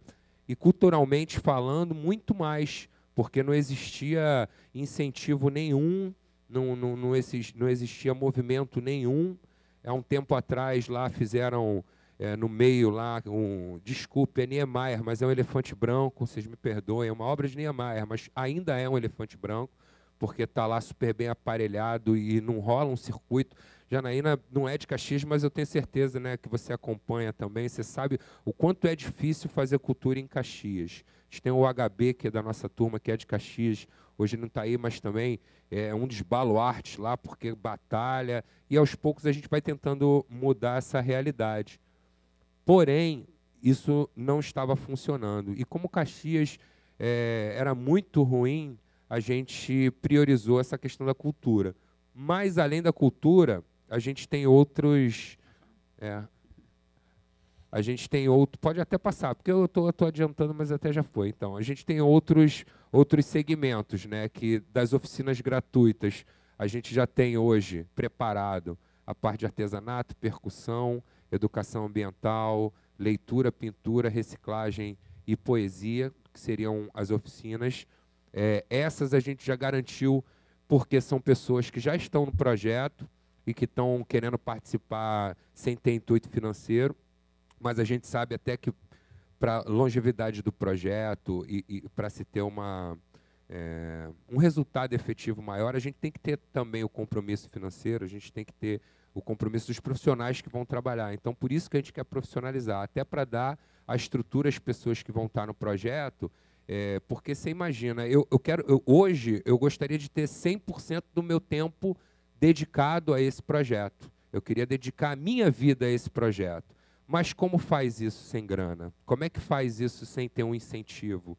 Eu, eu não posso. Eu tenho que trabalhar, eu tenho que dividir o meu tempo, porque eu não tenho a condição para fazer esse tipo de projeto. Então, é essa a maior das inquietações, porque acaba que as coisas difíceis, né, a, a falta de cultura, a ignorância, é, às vezes o funk na cabeça, né, aquela coisa do quadradinho de 8, 16, 32, 48 e assim vai. Exatamente, isso, isso é, é, é, é tão diário, é tão dia a dia, você acaba se acostumando, não dói tanto não dói tanto. Você vai se acostumando, não dói tanto. Agora, você querer se dedicar a uma história, a fazer, ver que tem caminho, ver que tem gente precisando, ver que você pode sobreviver daquilo e não poder fazer aquilo é muito ruim. Então, essa é a minha maior inquietação. E as ações comunitárias, é, elas são até parecidas com as oficinas gratuitas. A diferença é que as oficinas gratuitas, elas inicialmente elas têm dois endereços, um é, é a sede do coletivo, que não é porque a gente tem sede, é a minha casa. E a gente abre a minha casa, a nossa casa lá, para fazer algumas coisas, para receber algumas pessoas, para fazer algumas oficinas. Paralelo à, à minha casa, tem o local onde a gente faz o evento, o Clube do Feijão, que é um sítio de eventos, onde a pessoa que é, é, é dona do sítio é um amigo pessoal, mas é um entusiasta também da, da cultura, então ele abriu as portas para que a gente possa fazer as oficinas lá no sítio também, que é próximo do, do espaço, mas o ideal é que a gente tivesse realmente um espaço constituído, né, que tivesse uma sede do, do coletivo, o que não tem. Mas, se Deus quiser, até janeiro do ano que vem teremos. E a ação comunitária é diferente. A ação comunitária a gente sai da onde a gente está, da sede, e a gente vai ou na casa das pessoas, ou na escola, ou na empresa. Não tem distinção. Ah, Fábio, a gente queria fazer um debate, a gente queria fazer uma palestra, a gente que, que, queria fazer algum trabalho é, lá na escola. Seja ela escola municipal, seja ela escola estadual, seja ela escola particular. Também não tem distinção. O importante para a gente é a parte da conscientização e o trabalho em si. A gente vai, combina antes e faz. Ah, eu quero fazer um, uma palestra ou um trabalho de reciclagem, um trabalho de meio ambiente com os meus funcionários na minha empresa. Não tem problema, a gente vai lá, ela estando localizada na área de atuação, sem custo nenhum, a gente vai na empresa, a gente vai lá fazer o, a oficina de compostagem ou de educação ambiental, o que for necessário. E assim também na casa das pessoas, porque o bairro lá é um bairro muito pequeno, não são tantas casas assim, e a ideia nossa é que a gente vá dando um selo verde, vamos dizer assim, que seria uma placa dizendo que aquela casa ali passou pelo curso de meio ambiente, passou pelo curso de, de compostagem, está preparada para morar perto de um rebinho ambiental.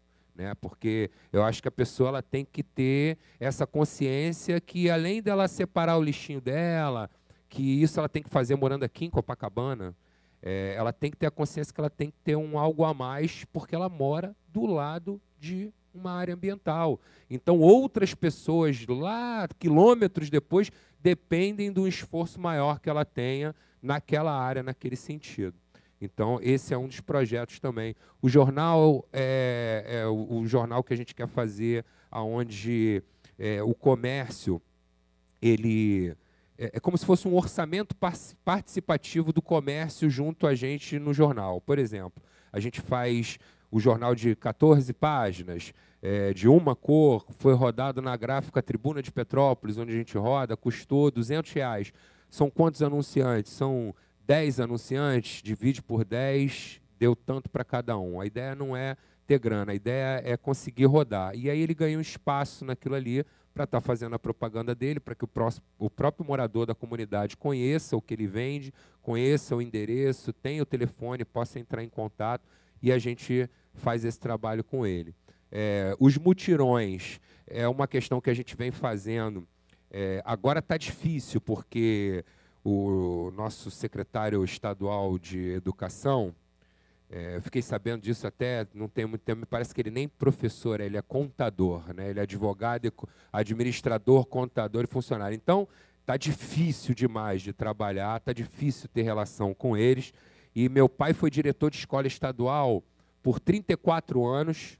É, infelizmente, com 70 anos, ele é obrigado a se aposentar foi muito a contragosto aposentado, tá, tá até passando por um período de depressão por causa disso, porque ele estava numa escola há 60 anos. Ele foi aluno, fundou, foi professor, foi diretor dessa escola, lá em Xerém, inclusive, próximo da onde a Juliana faz o trabalho dela lá, e sempre foi uma escola de referência.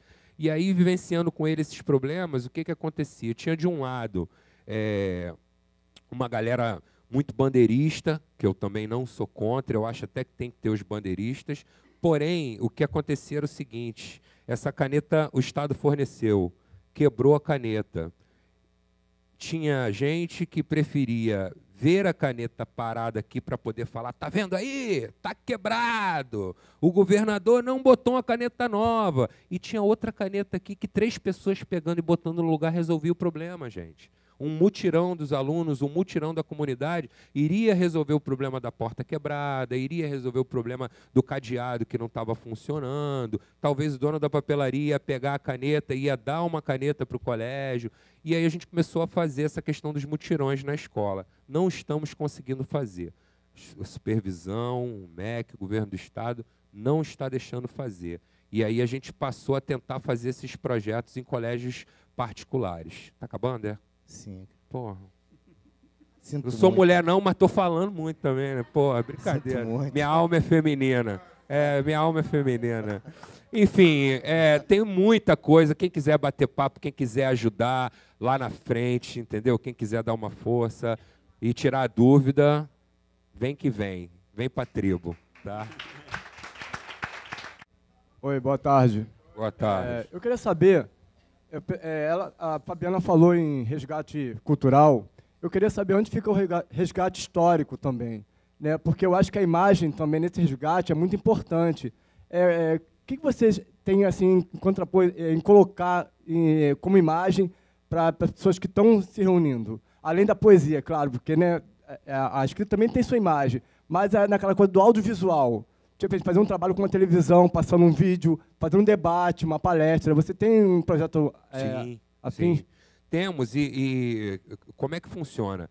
É, como eu te falei, é tão difícil você fazer um tipo de movimento é, em Caxias, na Baixada, que a gente costuma respeitar muito quem está fazendo. E, e como são poucas pessoas, a gente tem alguns coletivos em Caxias que trabalham com segmentos parecidos. Hoje a gente tem o macaco chinês e a gente tem o mate com angu. E no meio disso tudo existe uma parceria porque são, são amigos muito íntimos, são pessoas que cresceram com a gente. É, o Igor Barradas, você deve conhecer, cineasta, tem um trabalho muito bacana. É meu compadre, entendeu? Não, é quarta agora. É, inclusive é aniversário dele comemorado lá. É, ele é meu compadre, ele é padrinho do meu filho, a gente foi criado junto. Então, assim, ao invés de eu. é, é, não é me esforçar, mas assim, ao invés de eu deixar de fazer algo que a gente está fazendo para criar algo de audiovisual, por exemplo, a gente recorre aos amigos, aos outros coletivos para estarmos juntos, né? Como aconteceu, por exemplo, ontem, a gente tinha um trabalho lá do, do, do, do Tribo Full, ontem não, domingo, perdão, no Sarau, a gente tinha eh, a realização, a curadoria do, do, do, do Tribo Full, mas a parte de audiovisual foi o Mate Congu que fez, eh, a parte dos curtas e, e de algumas organizações de música foi o Macaco Chinês que fez, enfim, parceria, né? Todo mundo junto. Posso? Oi, Fábio. Oi. É, eu sou Fabiana, moradora de Caxias. Também. De uma comunidade chamada Parque das Missões, assim, é uma comunidade muito carente. Muito. E o que a Juliana falou sobre a questão da escola, acontece muito lá. No caso, só tem um CEP, né, é, municipal, uma briga com, com o Estado, aí é uma demanda lá deles. Que também é, a gente faz um trabalho sobre a questão da poesia e dessas atualizações desses sujeitos que ali estão. E é trabalho de formiguinha, e eu fico muito feliz por estar vendo que o seu está dando certo. Porque a gente tem, vem, vem trabalhando há quatro anos, o trabalho que eu realizo aqui, aquela Providência, com as crianças na Casa Amarela, toda a conquista que a gente conseguiu aqui lá é muito difícil. Claro que tem a questão do tráfico, a escola tem uma postura, a direção, uma postura evangélica é muito complicado, mas a gente já conseguiu uma vitória. A sala de leitura foi aberta para os estudantes e para a comunidade. É uma coisa que os alunos, foi uma demanda que os alunos levaram para dentro da sala de aula. E eu acredito que isso também seja uma vitória da própria comunidade. Eu quero me oferecer claro, para estar fazendo parte, Bom. até para poder aprender muito mais. Com certeza. Porque assim, eu fico, ao mesmo tempo que eu fico muito feliz pelas conquistas que a gente tem aqui na Providência, às vezes eu me sinto muito frustrada pelo pelo descaso, pelo trabalho que a gente tem ali que a gente não consegue reconhecimento. Parabéns pelo trabalho que você faz. Te agradeço. E você também tira leite de pedra, porque as casinhas lá é complicado mesmo lá, né, cara? Até pela parte geográfica mesmo, de não ter fim, né? Tem, tem o início e você vai direto ali pela, pelas casinhas e o, o tráfico, a violência lá é braba mesmo, né? É muito, tá muito pior, né? É, meu e nome aí, é Luciana. Tudo bom, Lu? É, essa questão que já foi colocada, mais do que falada, essa questão do lixo me, me incomodou muito. Como cidadã, porque eu também moro em Caxias, eu também nem tinha conhecimento disso aí. E o nome do monte é Monte do Azeite, que o pessoal fala. É, e foi o que foi perguntado. Só que eu que, gostaria, eu tenho, eu conheço, também sou evangélica, mas eu conheço. Eu acho que cada um tem que colaborar. Só falar não adianta, é meter a mão. Entendeu? Eu gostaria de me propor, se vocês têm filipetas, alguma coisa, pelo menos em cinco igrejas, acho que a semente não é só você falar, é claro. é você meter a mão e agir. Eu me comprometo, dentro do meu bairro, que eu moro na Mangueirinha, entendeu? Em conversar com a coordenação da Igreja Metodista Central de Duque de Caxias, que é ali na Rodoviária Velha, na minha congregação, porque eu acho isso um absurdo, não é como, como cidadã. Eu moro ali. É, entendeu? É, eu faço parte daquilo ali. Eu, como educadora, levei meus alunos ali para conhecer. É um, é um espaço lindo. Só quem conhece aquilo ali é que sabe. Então, eu estou falando como cidadã do que caxiense. Claro. Entendeu? Porque, independente da religiosidade, na verdade, a preocupação da gente é que existe uma lei. A área de proteção ambiental pode ser evangélico, pode ser do candomblé, pode ser até uma aparição divina. Não pode. Entendeu? Não é. Nem não pode é, ser apropriado porque não, não é seu. Exatamente. É do não povo. Pode. É isso. Entendeu? É isso. isso. não existe. Não pode, não pode. A área de proteção entendeu? não pode. É isso. Então, eu me coloco à disposição. Obrigado. Entendeu? Legal. Acho que a gente tem que fazer isso. Tem que questionar. Se eles virem com a arma, a gente vem com a palavra. Que eu acho que é isso que é mais importante. É, não, obrigado. Meu querido Fábio, eu queria fazer cor a nossa amiga e te parabenizar também pelo excelente trabalho. Te pedir mais uma vez um milhão de desculpas pelo pó de poesia não, não ter curva. podido estar lá, mas no próximo, se Deus Com quiser, certeza. vai estar. E, de, e, desde já já se considera o coletivo Pó de Poesia e o Tribo Fulco, ah, é coletivos parceiros. Legal. Pode contar com a gente porque a gente precisar. Obrigado. Eu queria, a minha curiosidade é o seguinte: as oficinas de poesia, como é que tem sido a receptividade e, e como é que tem sido trabalhar oficina de poesia? No momento em que a, a educação está tendo um, um déficit, um, um, uma, um, problema com a questão da, da alfabetização. Você vê é, crianças que chegam ao quinto ano sem saber ler nem escrever, com problema de, de dislexia. Como é que tem sido isso? É, o mais interessante que eu nessa correria eu acho que eu deixei de falar, ela não é uma oficina infantil. Né? Ela pode ser infantil, aliás, todas elas na verdade, não existe uma idade para o tipo de oficina. A gente pode atender é, a comunidade, a gente pode atender uma outra comunidade, ela pode ser de criança, de adolescente ou até de adulto. A de poesia, por exemplo, como é que começou? Com a questão do sarau, é, a gente resolveu escolher todo o mês que for fazer o sarau, ter um homenageado que seria uma figura importante para a cultura do município. Né? E nessa primeira, a gente escolheu um poeta de Jardim Primavera, o Tuninho Primavera, que é super conhecido, é um, uma pessoa assim que só trazendo ele aqui, gente, porque é maravilhosa. E o que, que a gente fez? A gente pegou e reuniu todas as poesias que a gente tinha do Tuninho, montou um grupo de pessoas que nunca tinham declamado poesias na vida e que eram amigos do Tuninho, e fizemos durante 15 dias reuniões para que essas poesias pudessem ser é, declamadas por essas pessoas. E aí, no meio disso, a gente pegou é, pessoas que tinham dificuldade de leitura, a gente pegou no meio disso pessoas que não entendiam a métrica de como a pessoa vai falar, de como ela vai se expressar. E dentro é, da experiência que alguns poetas amigos têm, né, a gente foi explicando dentro da nossa forma, da nossa maneira, é, como que nós poderíamos fazer com relação à questão da poesia. A gente sabe que muita coisa está engatinhando e eu aproveito até a oportunidade para quem quiser, em qualquer uma dessas oficinas que eu falei, ou para qualquer uma outra oficina que queira, da sua forma, ajudar, participar, ampliar, melhorar, tornar mais acadêmica ou não, está aberto espaço para todos também. Foi. Isso aí foi, Fábio. Ah, acabou, rapidinho. Valeu, gente. Parabéns. Obrigado, hein? Isso aí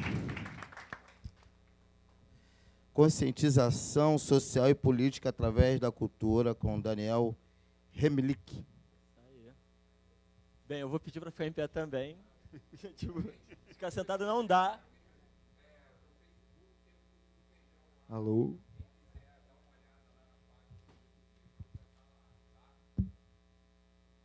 Então, eu vou ficar em pé porque eu sou muito impaciente, eu não consigo ficar sentado, estava me incomodando, me retorcia na cadeira aqui.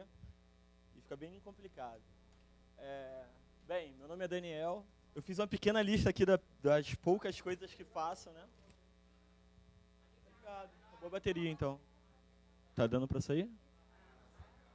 Tá piscando vermelho aqui, ó.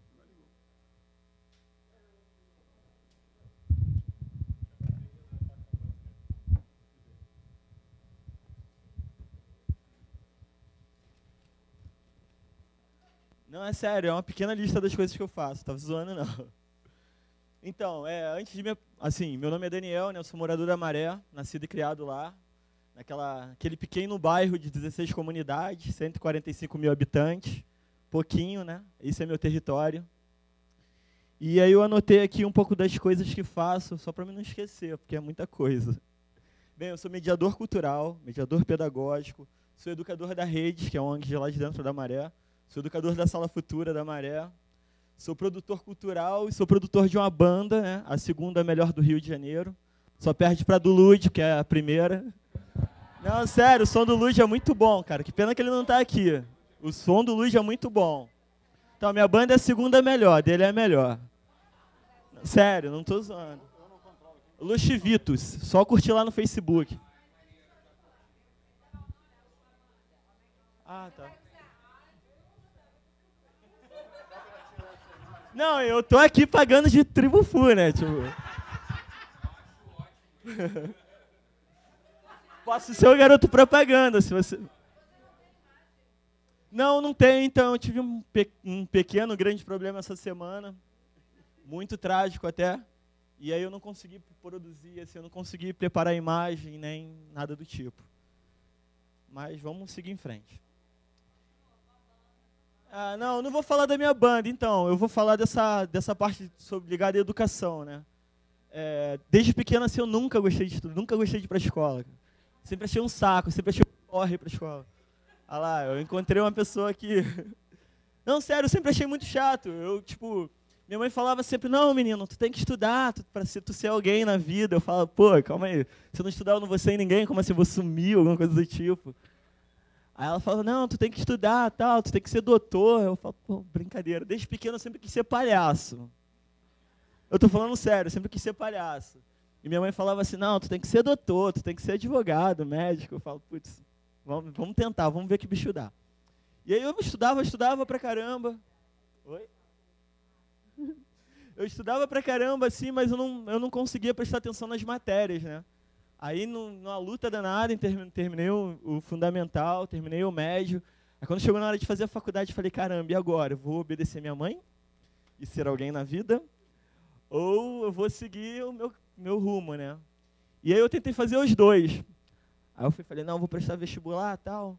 Prestei para matemática, passei, não, aí um primeiro semestre eu não consegui me adaptar, eu falava, cara, isso aqui não é para mim não. E aí eu tipo abandonava. Aí no ano seguinte eu tentava de novo para outro curso, e eu estudava mais um bocado de tempo e também desistia. E sempre tentando aprender outras coisas. Nesse meio tempo eu me envolvi com teatro, com várias outras linguagens, né, com música. Ah, esqueci de colocar ali, eu até coloquei músico. Ah, Lu, eu elogiei tua banda, tu não estava aqui, brincadeira, hein? Sabe? Tá, então, a, o Los Chivitos é a segunda melhor banda do Rio de Janeiro, depois da do Lud e os únicos, né? Cara. Então, aí voltando, né? Aí eu, putz, putz assim, não, gost, não gostava mesmo de estudar. Aí, tentando, tentando, tentando, não chegava a lugar nenhum. E, mas nunca abandonei os estudos, assim. Sempre tentava alguma coisa diferente. Gastronomia, matemática, direito, bibibi, pereira, pão doce. E até que um dia, aí eu fui trabalhando numa ONG lá na, na Maré, né, na rede. Tenho vários parceiros aqui de lá. E aí eu comecei a trabalhar em, com educação. Né? Eu fui lá chamado para trabalhar com um pouco de cultura, mas deu um, deu um erro lá e eu fui cair na parte de educação. E começando a trabalhar dentro das escolas, fui me despertando a vontade de trabalhar com aquilo. Né? Eu falava, pô, caramba, bacana. Nunca tentei fazer nada ligado à educação. E aí eu fui e entrei para pedagogia no ano seguinte. que foi, foi muito bom, assim, me achei, assim. E o bacana é que trabalhando na redes e depois fazendo pedagogia, eu vi, assim, meus olhos se abriram, assim, tipo, notei que a educação, né, do ensino fundamental, do médio, matava muito esse nosso lado lúdico, esse nosso lado criativo. Tipo assim, ela nunca foi pensar, a escola não foi pensada em fazer a gente pensar, né, e só reproduzir. Isso para mim, por isso, aí foi quando eu vi que assim, oh, caramba, era por isso que eu não gostava de ir para escola. Tipo, achei. Aí eu fui, aí é, né? Foi, não, verdade, assim, eu, foi quando deu start, eu falei, caramba, pô, mas agora que eu estou na área de educação, por que eu não penso uma forma mais interessante para aula, né? Porque eu não posso tornar a educação de uma forma um pouco mais bacana, digamos. E aí eu resolvi né, misturar um pouquinho de cada coisa daquilo que eu já havia aprendido com um bocado que eu vivo todo dia trabalhando nessa instituição. Né? E aí eu fui misturando as linguagens, a linguagem do rap, a linguagem do grafite, a linguagem dos desenhos, a linguagem do teatro, e fui misturando tudo. Não sabia onde ia dar, mas eu ia aprendendo tudo e ia tentando desenvolver na sala. E aí até que um dia me, um, um, professor faltou, né? Um professor do preparatório de lá da, da, da instituição. E ele foi, e um outro professor chegou para mim e falou assim: "Pô, cara, que tal você dar aula de, de política hoje?" Eu falei: "Pô, política?" Ele falou: "É, cara, a aula é um saco. Você vai lá, você dá um zoa lá meia hora, todo mundo vai gostar e tá valendo assim." Aí eu falei: "Ah, é, não, sério, o er... é, não vou dar o um nome não." Mas ele chegou para mim e falou assim: Vá lá. Eu fui, falei, pô, bacana. Aí eu falei, pô, mas sabe que tem que ser algo bem, bem agitado e lúdico, senão eu, eu não vou ter saco para falar isso. Ele, não, vai lá, pode ficar à vontade. Aí beleza, cheguei lá no primeiro dia, conversei com a galera, a gente fez uma dinâmica muito louca, que eu queria até fazer com vocês, mas não vai dar porque eu não consegui trazer o material. Oh. De novo, oh. Então, e, e foi muito bacana. Aí, quando terminei a aula, Aí o pessoal foi falou, e aí, professor, tu vai dar aula pra gente semana que vem? Eu falei, ih, não sei, cara, vai depender do, do pessoal, se eles vão deixar e tal. Aí foram e falaram com o coordenador, falaram, não, pô, a gente gostou pra caramba da aula dele, é muito dinâmica, não sei o quê, bebê divertida, todo mundo pode falar. Aí ele foi e falou, pô, e aí, cara, tá afim de dar aula semana que vem de novo, não? Falei, pô, vamos lá, né? Vamos tentar, vamos ver. Aí dei aula na semana seguinte, e aconteceu a mesma coisa, assim, a galera curtiu pra caramba, e, foi, e acabou, no final das contas, né, resumindo um pouco, é, essa aula foi substituída. Eu, a partir daquele momento em, em, diante, assim, eu passei a dar aquela matéria para a galera. É, na, era é, era para ser uma mistura de geografia e história, para a gente debater política e cultura, né? Falei, pô, perfeito, tipo assim, o que eu gosto, né? Política e cultura. Falei, não, aí entrei. E nisso. não, é, foi o que todo mundo dizia assim: caramba, política é muito chato, não sei o quê. E, tipo, mas aí a gente foi trabalhando em cima deles, né? Usando essas outras linguagens, usando um pouco da linguagem do rap e a visão que o rap tem sobre política, a linguagem do funk, um pouco da visão que o funk tem sobre política, e assim outras coisas também, né? A gente trabalhava a produção do texto, falava, pô, vamos, vamos fazer uma redação aí. a galera ficava, pô, é professor, mas redação. Falava, não, cara, vamos fazer o seguinte, vamos fazer uma, uma redação estilo cordel. Aí, pô, como assim cordel? Aí explicava para eles o que era cordel, chamava um amigo para dar uma força, né? E a gente fazia, e era assim que a gente fazia a redação com a galera. Estilo cordel, estilo, é, como o nome? Fanzine, coisas do tipo. E Tá, vocês me fizeram me perder, beleza. então, então, aí foi, foi, foi dessa forma que eu comecei esse trabalho. E depois de, quando, com o passar do tempo, né, semanas depois, não, minto, duas, três, quatro semanas depois, foram percebendo que não faltavam mais alunos na minha aula, né? A galera estava sempre vindo e sempre e a galera que costumava não vir antes começou a saber da aula e começou a aparecer na, na, na minha aula. E o professor foi falou, caramba, caramba, tipo assim, a, a, evasão diminuiu muito depois que você começou a dar aula. Aí foram tentar em outro projeto, foi falar, pô, vai lá e faz com esse outro projeto. Falei, beleza, vamos cair para dentro, vamos lá. Sangue nos olhos. Aí, pô, comecei a, a fazer um trabalho, desenvolver um trabalho junto com o pessoal do pré-vestibular, né? E nisso eu chegava lá e falava, pô, um guri ainda, né? Todo mundo, a galera mais velha, os professores, e um molecão falando lá na frente de todo mundo, com a mesma linguagem. Isso para ele foi muito interessante, assim, porque eu podia falar da experiência que eu tinha na faculdade, que era mais ou menos ali, ó, não era tanto tempo depois, né? tipo, um pouquinho só tempo antes de todos, né? Então trazia aquilo, a minha vivência e mostrava e falava para eles, não, você que faz a universidade, pô, a universidade também não é tudo. O importante é o pensamento crítico, é você desenvolver seu pensamento, sabe?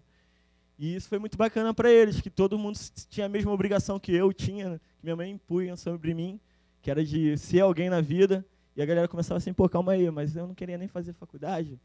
Mas aí era aquele lance que eu falava, não, pô, por mais que você não faça faculdade, por mais que esse não seja seu desejo, seu desejo seja fazer outra coisa, o importante é você desenvolver o seu pensamento.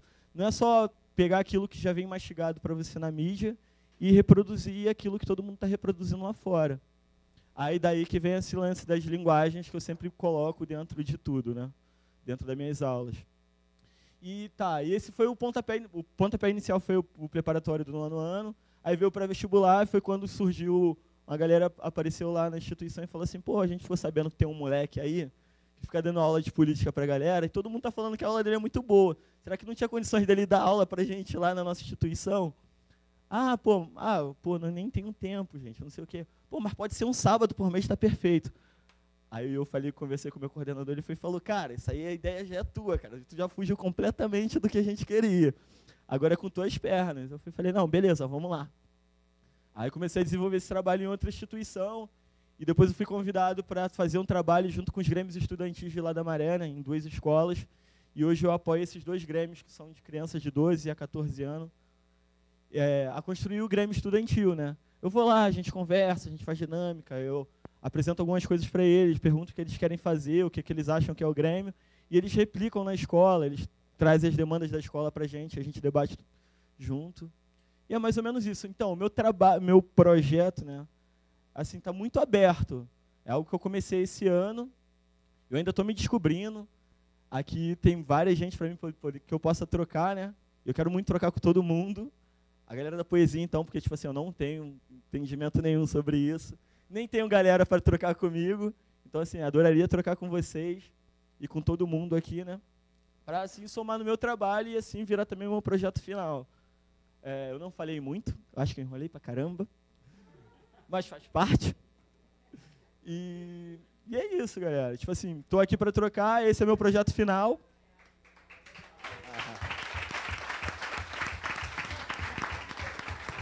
Valeu, valeu. Eu falaria, faria malabares, mas não tem nada aqui. Estou é, aqui com o microfone, posso falar?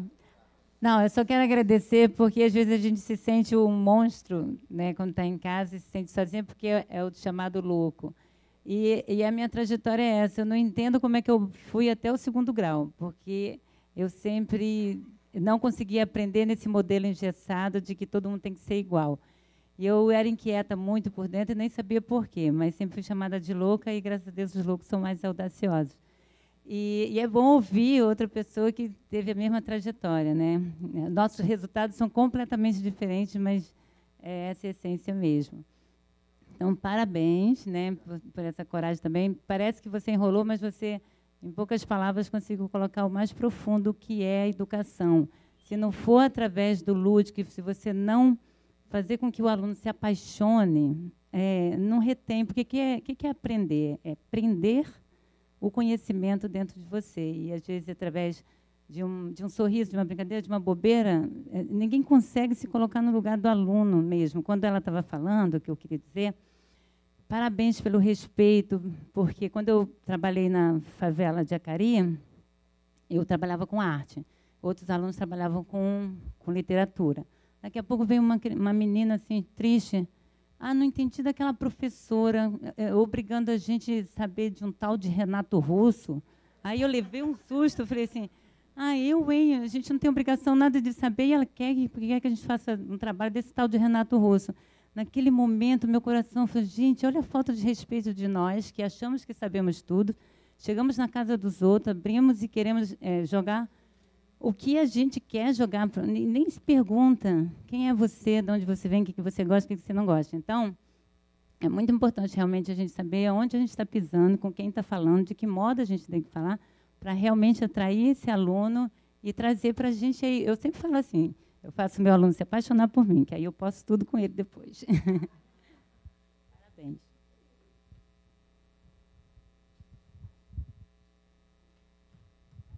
Oi, Daniel. É, eu sou Jussara, tá? é, eu queria saber se você já concluiu a faculdade e é, é, eu vou deixar ela complementar. Não, eu ia perguntar se você tinha acabado pedagogia, falei isso. Então. Me interessa saber se você já se formou, você está dando. Não, eu deveria me formar esse ano. Quantos anos você tem? É, eu é, não, eu já sou cascudo, rapaz. Eu já acabei de completar 29 anos esse ano.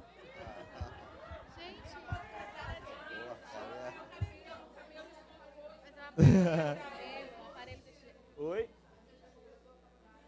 Não, então, eu ia completar esse ano, aí ano passado eu fui morar em Curitiba um tempo para poder estudar, né, para poder aprender um pouco mais. E aí eu tive que trancar, então me formando que vem. Assim,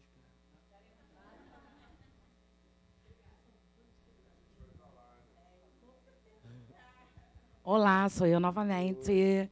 Mas é, é um prazer ouvir você falar, porque você é um contador de história.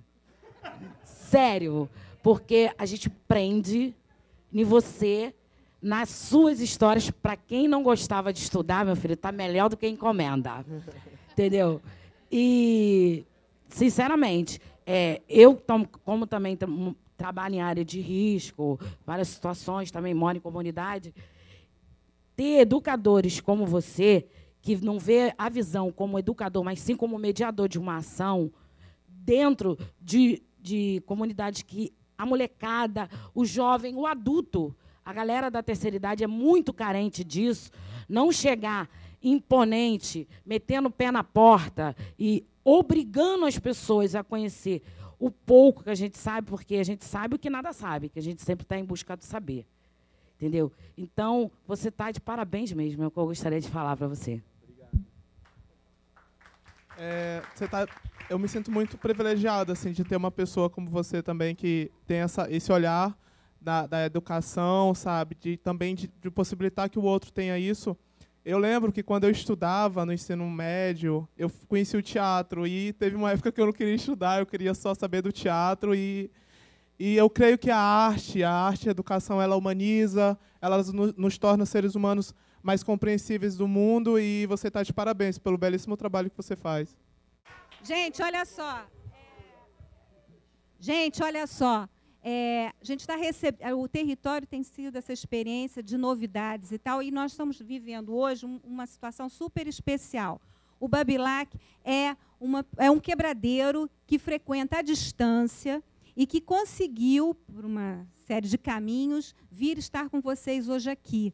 Então, ele entrou na mesa como quebradeiro, né? E realmente é uma boa oportunidade, por isso tem que ser hoje, porque não é fácil conseguir passagem, condições para vir. Então eu quero trazer para vocês Babilac Bar. Vamos lá. É, primeiramente, obrigado, né? Estou é, muito feliz por estar aqui. Acho que essa introdução polêmica foi maravilhosa para marcar a minha passagem. muito bom, assim, isso, isso, marca a minha vida mesmo, assim, esse, esse, essa introdução. É o seguinte, eu sou, eu sou da Paraíba, paraibano, né? De João Pessoa. Eu me considero artista do ruído, não músico, é, poeta. Aí a condição do poeta, aí eu faço questão de legitimar que isso que me dá sustentação à minha vida, a poesia. É, e, arte edu, e o arte educador, eu sou autodidata, eu comungo aí com Daniel, tive muita dificuldade com, com a escola. A escola nunca foi um, aquele lugar que eu morri de amor, a escola, mas sou um profundo estudante da vida, todo tempo estudando, um leitor voraz e, e de situações, tem a leitura para além dos livros, né? Assim, mas os livros também apresentam na minha vida. Como eu falei anteriormente, de João Pessoa e da Paraíba. Sou filho de mãe, de mãe analfabeta, mãe é, filho de mãe solteira também.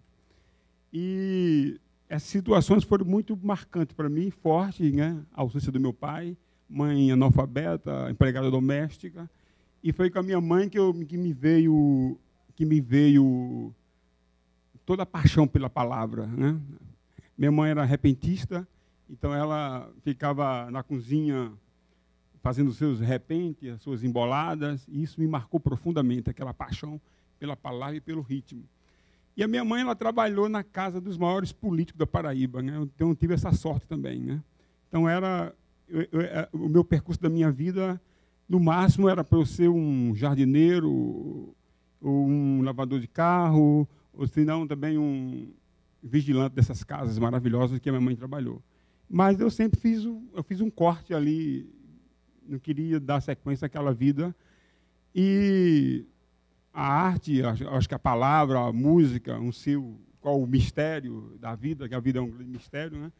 Que eu tive um percurso diferente também. A minha mãe teve, ela tinha um cuidado muito especial comigo, né? me cuidou muito bem de mim, graças a Deus.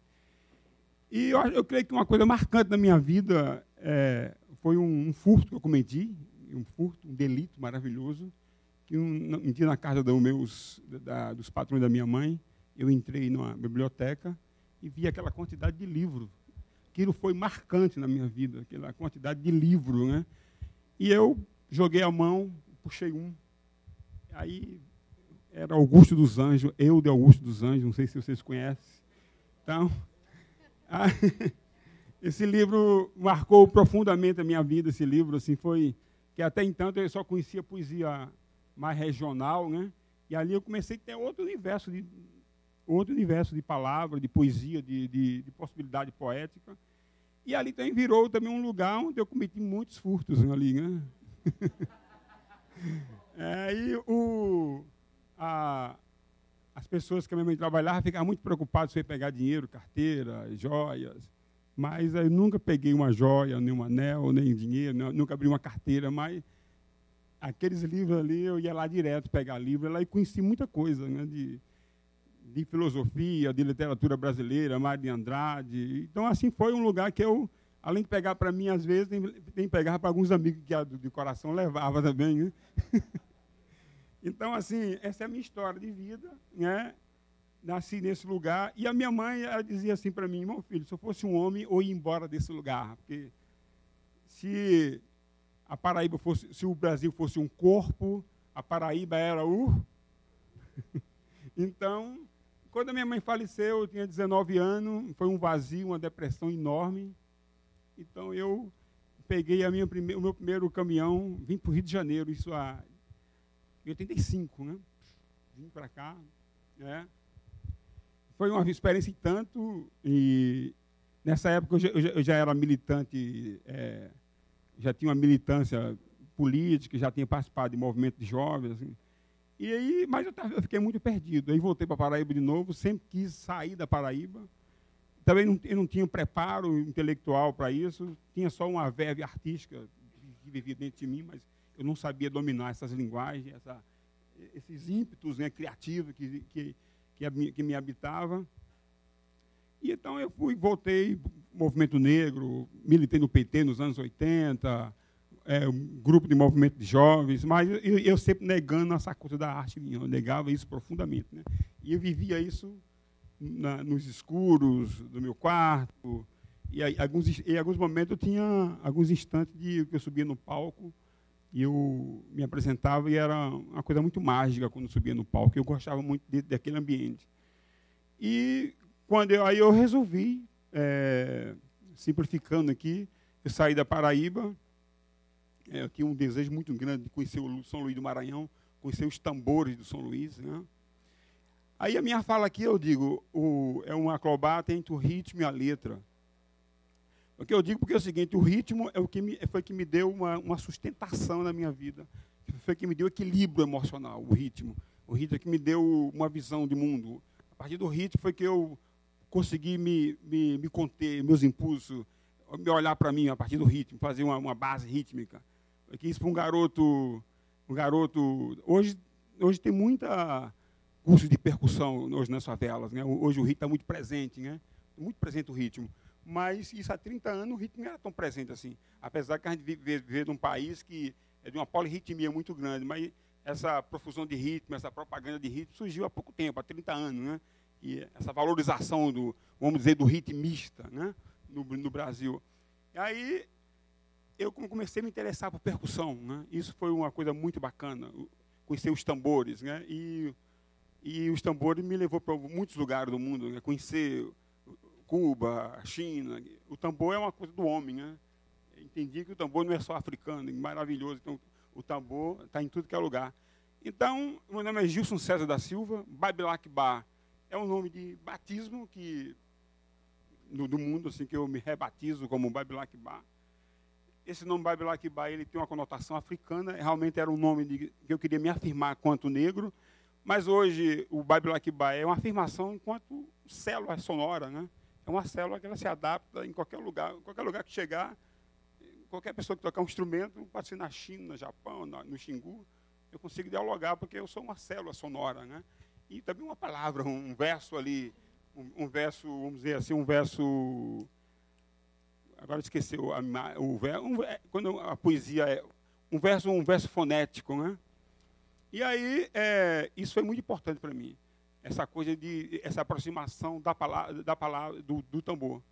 E a palavra foi importante para mim que esses furtos, né, que eu fiz, que foi maravilhoso, que me desenvolveu muito na minha vida, né?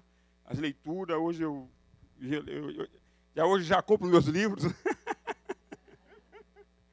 então, assim, o livro foi muito importante. Já publiquei já três livros meus de poesias, né? A minha, publica, a minha primeira publicação foi, eu tinha 20 anos, né? É, isso foi, esse, essa publicação foi feita pela Comissão Negro do PT em Brasília. Então, nos anos 80, eu, com essa inquietude, eu um garoto sem menor perspectiva, morando na Paraíba, em João Pessoa, na periferia. Então surgiu a oportunidade de, de, eu, de eu, representar o negro do PT lá, lá, na Paraíba. Eu peguei um, passei uma semana, um mês, batalhando grana e consegui para Brasília. Quando cheguei em Brasília, ninguém imaginava que, que nem Paraíba tinha negro, né? Eu cheguei lá, entendeu? E aí eu cheguei lá, representando a negritude da Paraíba, declamei um poema Aí que depois desse poema tudo mudou na minha vida, uma poesia que eu li. É, nesse dia o Luiz Inácio Lula Silva estava presente também, isso foi lá em, na, na Ceilândia, em Brasília, isso nos anos 80, né? Voltei para Paraíba de novo, e a minha vida, ela, ela, ela, ela se retoma por vários, ela, ela acontece em vários territórios. Eu costumo dizer que eu sou um homem sem lugar nenhum, né? porque eu nasci na Paraíba, mas estou em Minas. É, E em Minas Gerais também não sou considerado, é, assim, os mineiros não me aceitam com facilidade, mesmo o meu trabalho estando lá consolidado, mas há sempre esse problema de da, da, do barrismo, isso acontece, isso é natural, né? Então, lá em Minas eu fiz vários trabalhos, né? Um trabalho que me marcou muito foi uma pesquisa que eu desenvolvi chamada Enxadário, Orquestra de Enxadas, motivado por essa inquietude minha de, de, querer fazer algo diferente, até mesmo porque eu tinha uma origem diferente, assim, então assim, a minha arte teria que ser diferente, né? Então, quando o Brasil vivia aquele boom do Olodum, essa propagação do, dos ritmos, que era muito bacana, qualquer lugar do Brasil que você chegava, tinha acontecia, tinha um grupo de, de Olodum, ou seja, de Salvador a Santa Catarina, isso, isso era um fenômeno nos anos 80, né? E eu falei, não, vou fazer um grupo de enxadas, né? E comecei a desenvolver uma pesquisa para tocar enxadas. Quando eu, quando eu fiz isso, foi uma... É, recebi muita crítica, esse cara está maluco, tocar enxada, né? Mas ali tinha todo, uma, tinha todo um sentido meu ali, né? Com a enxada ali, eu via como objeto, a enxada como objeto poético, a enxada como objeto político, objeto simbólico, né? E eu me via também representado também, também pela enxada, porque a enxada, a minha mãe tinha sido tinha saído lá da, do interior da Paraíba, o ex-rural, muitos paraibanos e muito nordestinos é, hoje saem do Nordeste em virtude do, do, do, país não ter uma reforma agrária, né? Então eu com esse meu trabalho do enxadar, orquestra de enxada, eu, eu, fazia, eu tinha essa essa preocupação política, né? E, mas é, também era um trabalho fundamentalmente estético, né? e poético, é, o enxadário. E esse trabalho me deu muitos louros, é, é um trabalho que eu devo a ele a, a, minha cidadania artística, né? Se não fosse esse trabalho, talvez eu, eu não fosse nem considerado artista. Né? O Enxadário, a Orquestra de Enxadário, é uma obra muito marcante na minha vida. E há, há, três anos eu fiz um outro trabalho que é muito interessante, que eu, eu procurei fundir o meu experimentalismo, né? a minha busca de timbre, de pesquisa de som, é, difusão de linguagem com um disco que eu fiz que chama Biografia de Homens Inquietos, né? que é, uma, é, uma, é, uma, é um trabalho que, que segue três eixos é, conceituais, né? É autobiográfico, ele é existencial e também antropofágico. Né? nesse, nesse, nesse CD eu faço uma homenagem a todos aqueles homens que eu comi da sua carne para ser o Babilac Bar, né? e também vários Babilac Bar que eu fui nessa minha vida, né? assim, então, esse é um, é um, um CD que tem duplo sentido, assim, esse, essa, esses homens, bio, esses homens, biografia de homens inquietos, que é um trabalho que tem esse eixo aí, é, autobiográfico, existencial e antropofágico. E uma maneira que eu resolvi, como eu sou autodidata, né, assim, essa minha dificuldade de estudar, de estar numa sala, foi procurar é, dar oficina.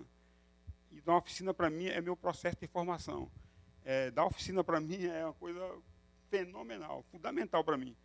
Então, assim, porque eu tinha toda uma ideia na minha cabeça de como queria fazer a minha música, mas encontrava dificuldade. Então, eu vou dar oficina. Então, vou ensinar a quem não sabe. Então, eu sempre procurei é, os grupos excluídos, né? Mendigos, loucos. É, onde, onde, tem, onde tem marginalizado, eu, eu procuro me, me familiarizar né? com esses grupos. Então, aí foi um, um lugar que eu fiz, eu criei minha obra, foi aí, nesse, nesse, nesses, nesses, nesses ambientes. Quanto mais marginalizado, mais eu me sinto familiar. E aí gosto desse desafio, tô com, aí, aceito o convite aí, qualquer lugar que vocês quiserem me levar, entendeu? Eu quero estar presente aí, viu? E aí, é, e outra, uma outra, outra obra que eu fiz, que é muito interessante, é, há 10 anos eu montei um, fui convidado para dar aula num projeto da Prefeitura de Belo Horizonte para dar uma oficina é, para pessoas esquizofrênicas. Né? E lá, numa, numa, numa, um meio, num ano de, de oficina, eu montei um grupo e montei um CD, chama Trem Tantan. Vocês podem procurar na internet aí, Trem, Trem Tantan. Entendeu? Aí é um. Aí também, esse é um disco assim marcante, é um trabalho que eu me emociono muito em falar desse trabalho. Inclusive, eu estou aqui por causa do Trem Tantan, né? assim, eu estou aqui por causa de um prêmio que eu ganhei, de um método de trabalho desenvolvido com esquizofrenia, é, premiado pelo Itaú Cultural. E aí, a minha viagem era para o Xingu. Eu queria fazer uma, uma, uma, uma, uma pesquisa da paisagem sonora do Xingu. Aí o Afunai não, não aceitou a minha entrada no Xingu. Aí, isso ia ser o ano passado. Aí eu falei, então eu vou para o Rio de Janeiro, quero lá conhecer as quebradas. Aí vim para cá. Então, assim, é, eu não fui aceito pelo Xingu, mas fui bem recebido aqui pelas quebradas. Então, maravilhoso. Então, é, é, procure lá saber desse trabalho, é, o Trem Tantan. A gente tem dois CDs, né? Tem o Trem Tantan e tem o Samba Bilolado.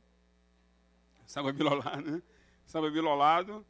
É, o nome dele é o Fábio, né? É, nós, ô, Fábio, nós criamos lá, nós criamos é, Samba, Loucura e Feijoada, né? Um projeto nosso lá muito interessante, Samba, Loucura e Feijoada. E aí, como poeta, eu, eu também o meu livro Corpo Letrado, que eu até tinha, queria mostrar para vocês uma performance, mas é melhor falar. Posso fazer uma doação, um brinde aqui do meu livro, do meu CD para vocês. É, o Corpo Letrado é um livro assim que é fruto de uma crise minha existencial. E, puxa, tenho 40 anos, não fiz nada de importante na vida, né? Assim.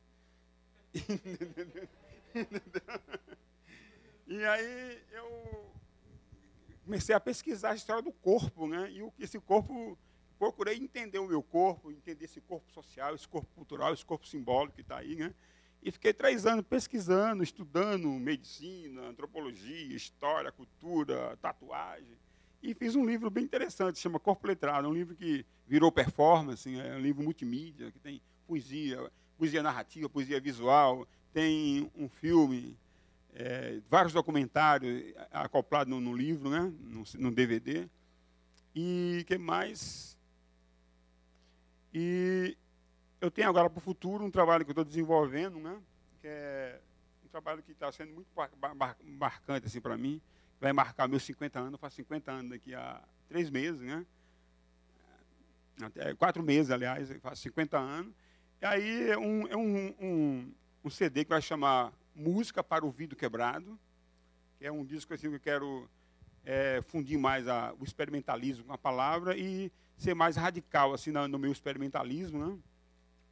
E estou montando aí, agora eu entrei nessa, nessa coisa de fazer instalação sonora, né? Eu estou... Tô também tem vida essa coisa de, de, de, viajar com banda, então você tem que ser criativo, buscar novas possibilidades para viver. Então, assim, eu estou percebendo que eu também andar sozinho é possível, né? Então, então eu estou é, montando uma instalação, fazendo objetos sonoros, né? Que vai chamar música, é, como é que é aqui? É canto de vida, ruído de trabalho e canto de morte. É, é, é todo um trabalho voltado para o signo da enxada, fazendo a denúncia da morte dos trabalhadores rurais no Brasil e fazendo um link entre as ligas camponesas da Paraíba com um canto escravo que tem em Minas Gerais que chama Vissungo.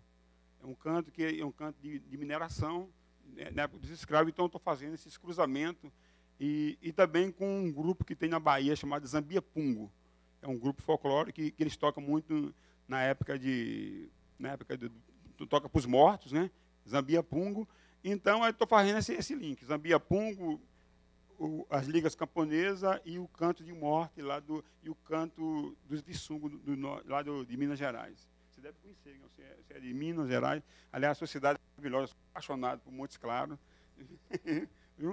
E, então é isso aí, assim, eu, eu tenho, estou aí a perguntas, eu tô, procurei simplificar o meu trabalho todo e e essa vida, assim, eu não tenho nada contra a escola, entendeu? Assim, eu que não consegui me adaptar na escola, né? entendeu?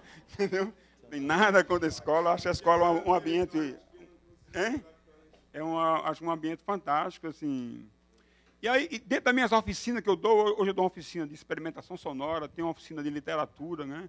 Tem um trabalho que eu estou fazendo também que é é, é, Pele e Palavra no Corpo da Cidade, que é um trabalho de escrita corporal, que eu venho pesquisando isso, que também vai virar uma instalação sonora, uma instalação, uma instalação, né, uma exposição minha.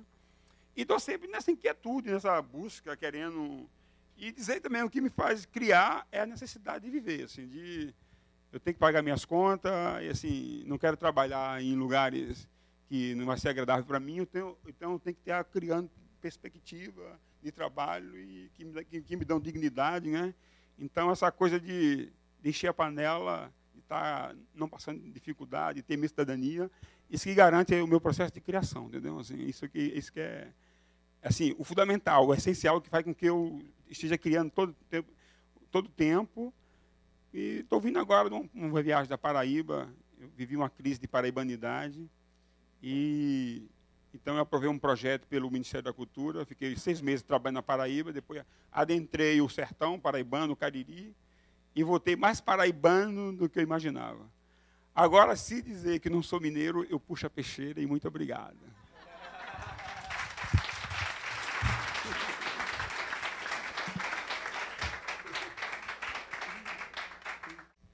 Eu estou ficando tantã ou a tua obra tem alguma influência de Tom Zé?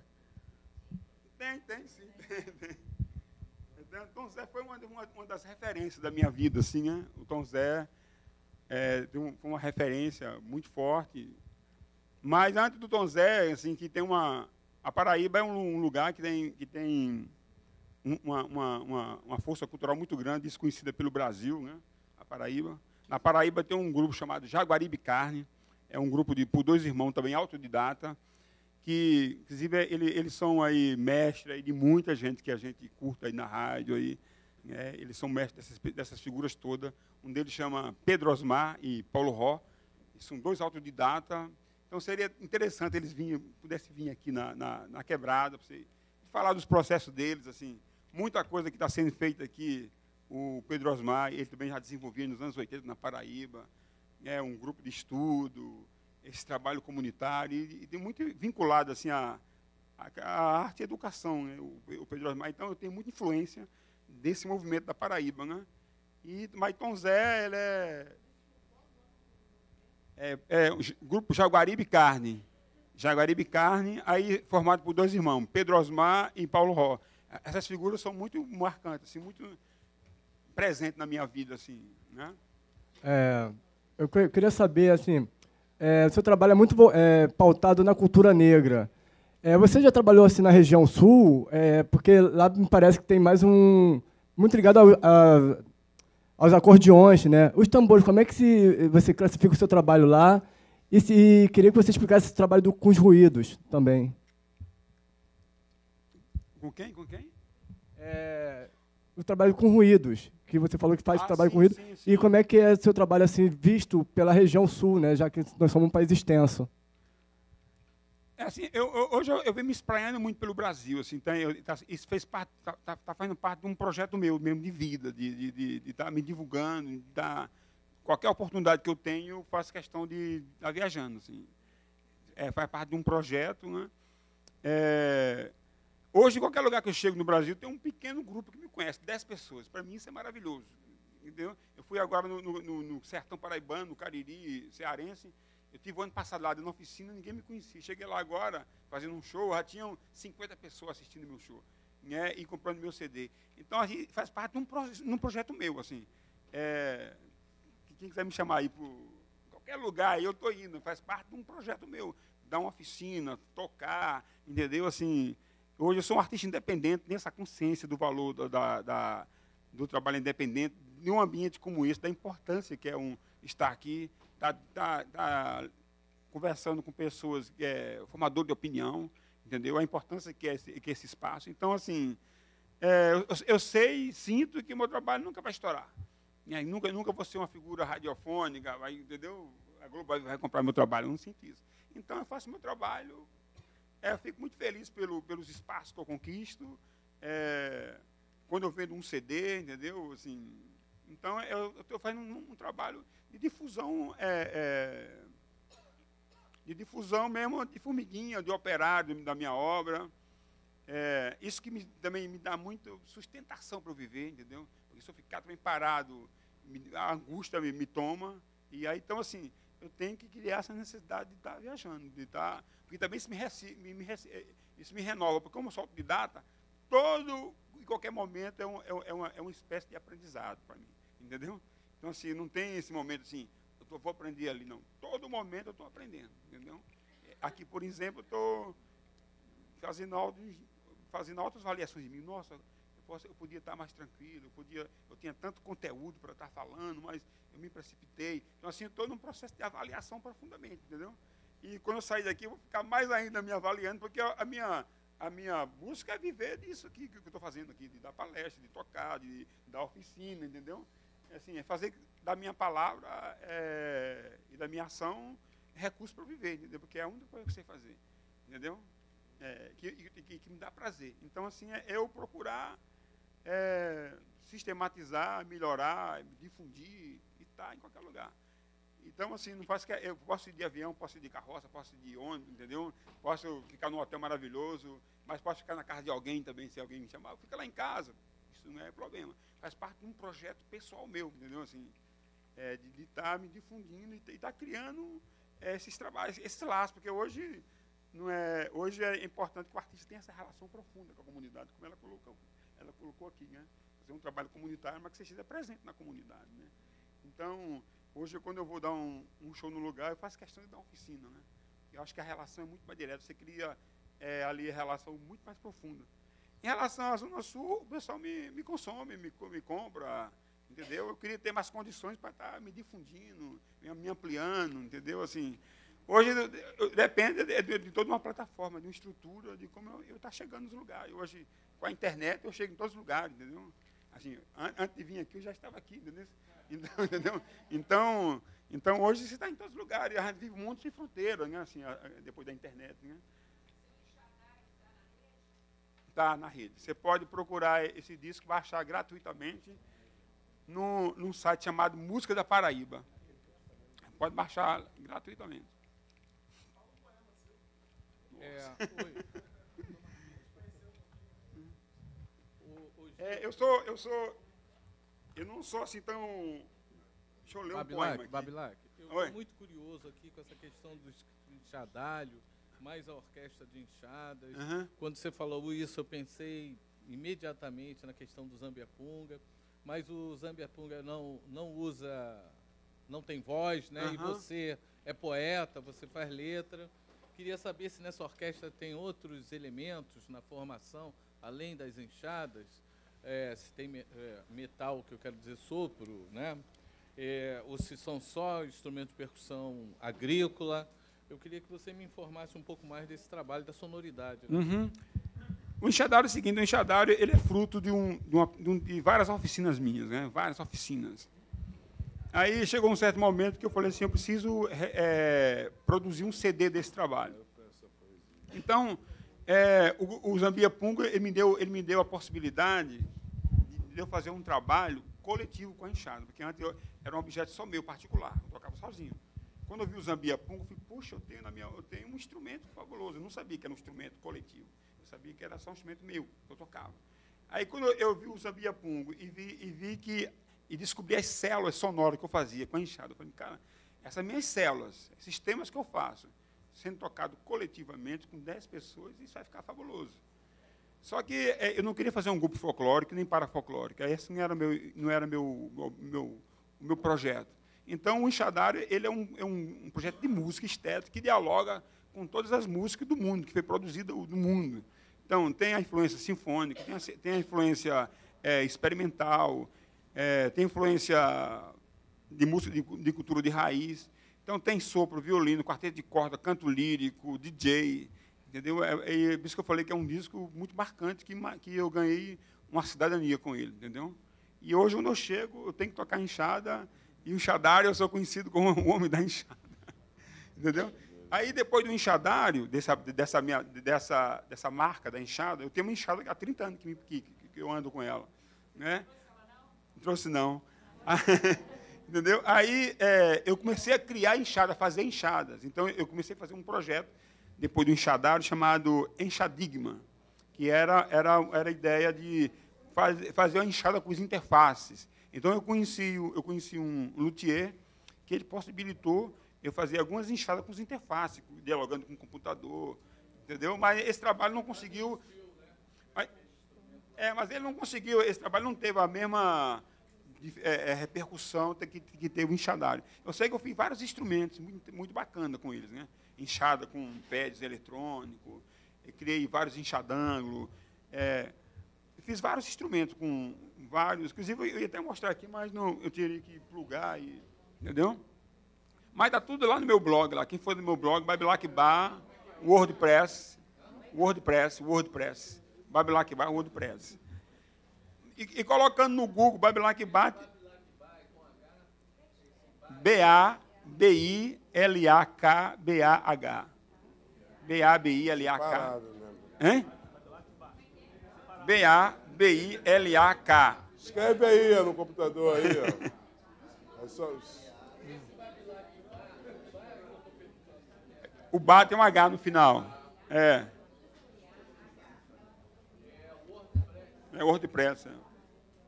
E tem a minha página também ó, lá no Facebook. Aí, ó, eu estou constantemente tá colocando tudo lá. Então, gente. Então, é, chegou aqui, chegou aqui. É, eu não quero nem fazer pergunta, né, cara? Só quero te agradecer, porque mais ou menos cerca de um ano atrás, né, eu pude estar com você lá na Cúpula dos Povos. Não sei se você vai lembrar desse fato. Eu estava na produção da Rádio Cúpula dos Povos. Era de manhãzinha e você chegou assim, pô, aqui tá meu CD, cara, vamos botar aí para tocar, ah. não sei o quê, não sei o que lá. Eu falei, então, pô, vamos marcar uma entrevista, você não apareceu, mas foi legal. A gente, a gente, a gente tocou a música mesmo assim.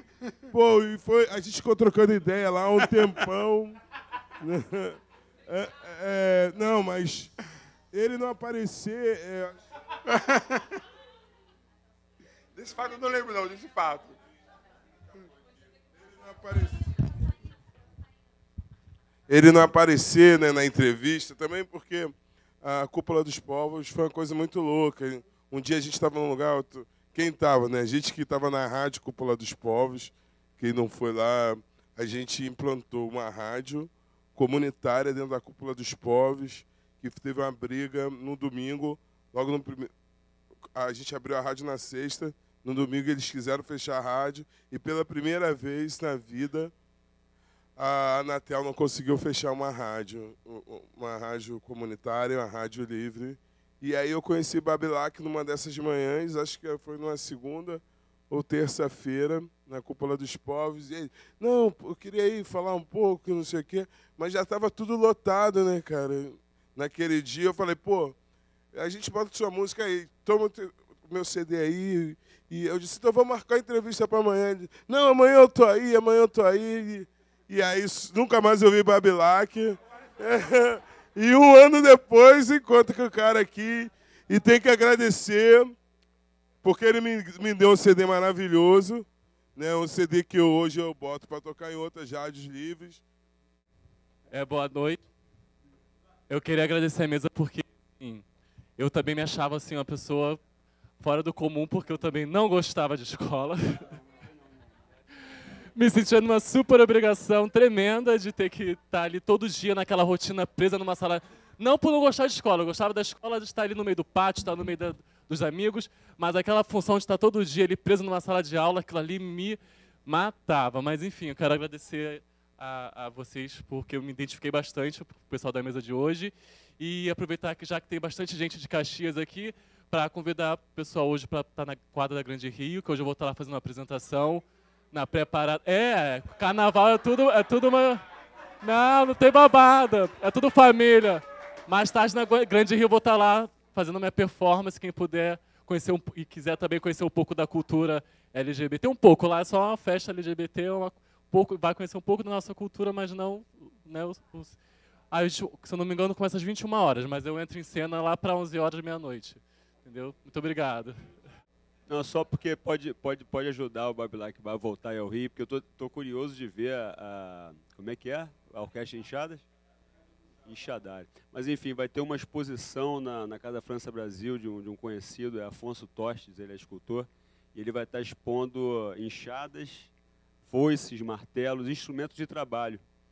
E ele está esculpindo uh, os cabos desse, desses instrumentos. Aí eu fiquei pensando em fazer a, a, conexão de vocês dois e de repente você ser chamado para fazer uma abertura lá com, a, com o enxadário. Porque ele é um cara que está. E ele e a gente invadiu, né, ocupar o, o, a Casa França Brasil. Casa França Brasil. Aí vamos trocar, vamos trocar porque eu acho que é bem possível. Ele está buscando coisas assim eh, originais e brasileiras da gente para participar da, da exposição dele, tá bom? Beleza. Fala, Babilac, beleza? Tranquilidade? É, parabéns aí pelo trabalho. Eu queria só. Você está alocado ainda em Minas? Tá? É, porque assim, eu morei um tempo em Minas, durante um ano, né? Por volta de 2001, por aí. E eu conheci o Seraquê, né? Não sei se você conhece o Seraquê. E também tinha é, tinha, é um grupo que, por exemplo, também faz muito trabalho com instrumentos criados, que é o Waikiti. Eu queria saber qual, se existe alguma relação com esses dois grupos, se você já trabalhou junto com eles e tal, porque são pessoas assim, bastante ligadas a, essa coisa periférica, né, de trazer para fora a coisa da periferia, se existe alguma relação, se você já trabalhou junto com eles. É que o Aikiti é uma, é uma escola para mim, assim, eu, eu, já fiz aula com eles, nunca trabalhei assim com eles no palco. Para isso, é, para mim seria um prazer, uma satisfação enorme poder assim trabalhar com Aikiti, né? Eles são mestres para mim, são é um grupo muito avançado de pesquisa, Inclusive, eles são, eles são discípulos de Walter Smetak, né? Então, assim, eu, eu, nunca trabalhei. Será que é um grupo... Ele tá, falando, ele não está ouvindo. Então, a, a Seraque, viu? É, a Seraque, eu também nunca trabalhei, mas já, usaram, assim, das minhas poéticas em trabalho deles, entendeu? Inclusive, eu sou muito amigo do, do criador do, da Seraque. Inclusive, era outra pessoa que poderia vir também aqui, entendeu? Posso ler o poema, só o poema? Aqui dentro do meu livro aqui, Corpo Letrado. É, esse é o livro Corpo Letrado. Então vou esquecer a leitura. Eu vou vender a pele no ritual de antropofagia. Ao poeta que devora tudo, vive crise de ideologia, faz psicanálise viciada em orgia, come a própria carne e devora eu vou vender a pele no ritual de antropofagia. Ao poeta que devora tudo, vive crise de ideologia, faz psicanálise viciada em orgia, come a própria carne e proclama a autofagia. Eu vou vender a pele. E quanto é que vale sua pele? Quanto é que vale sua pele? Quanto é que vale a sua pele? E quanto é que vale a sua pele? E você, moça, quanto é que vale a sua pele? E quanto é que vale a pele de Pelé? Eu vou vender a pele no ritual de antropofagia.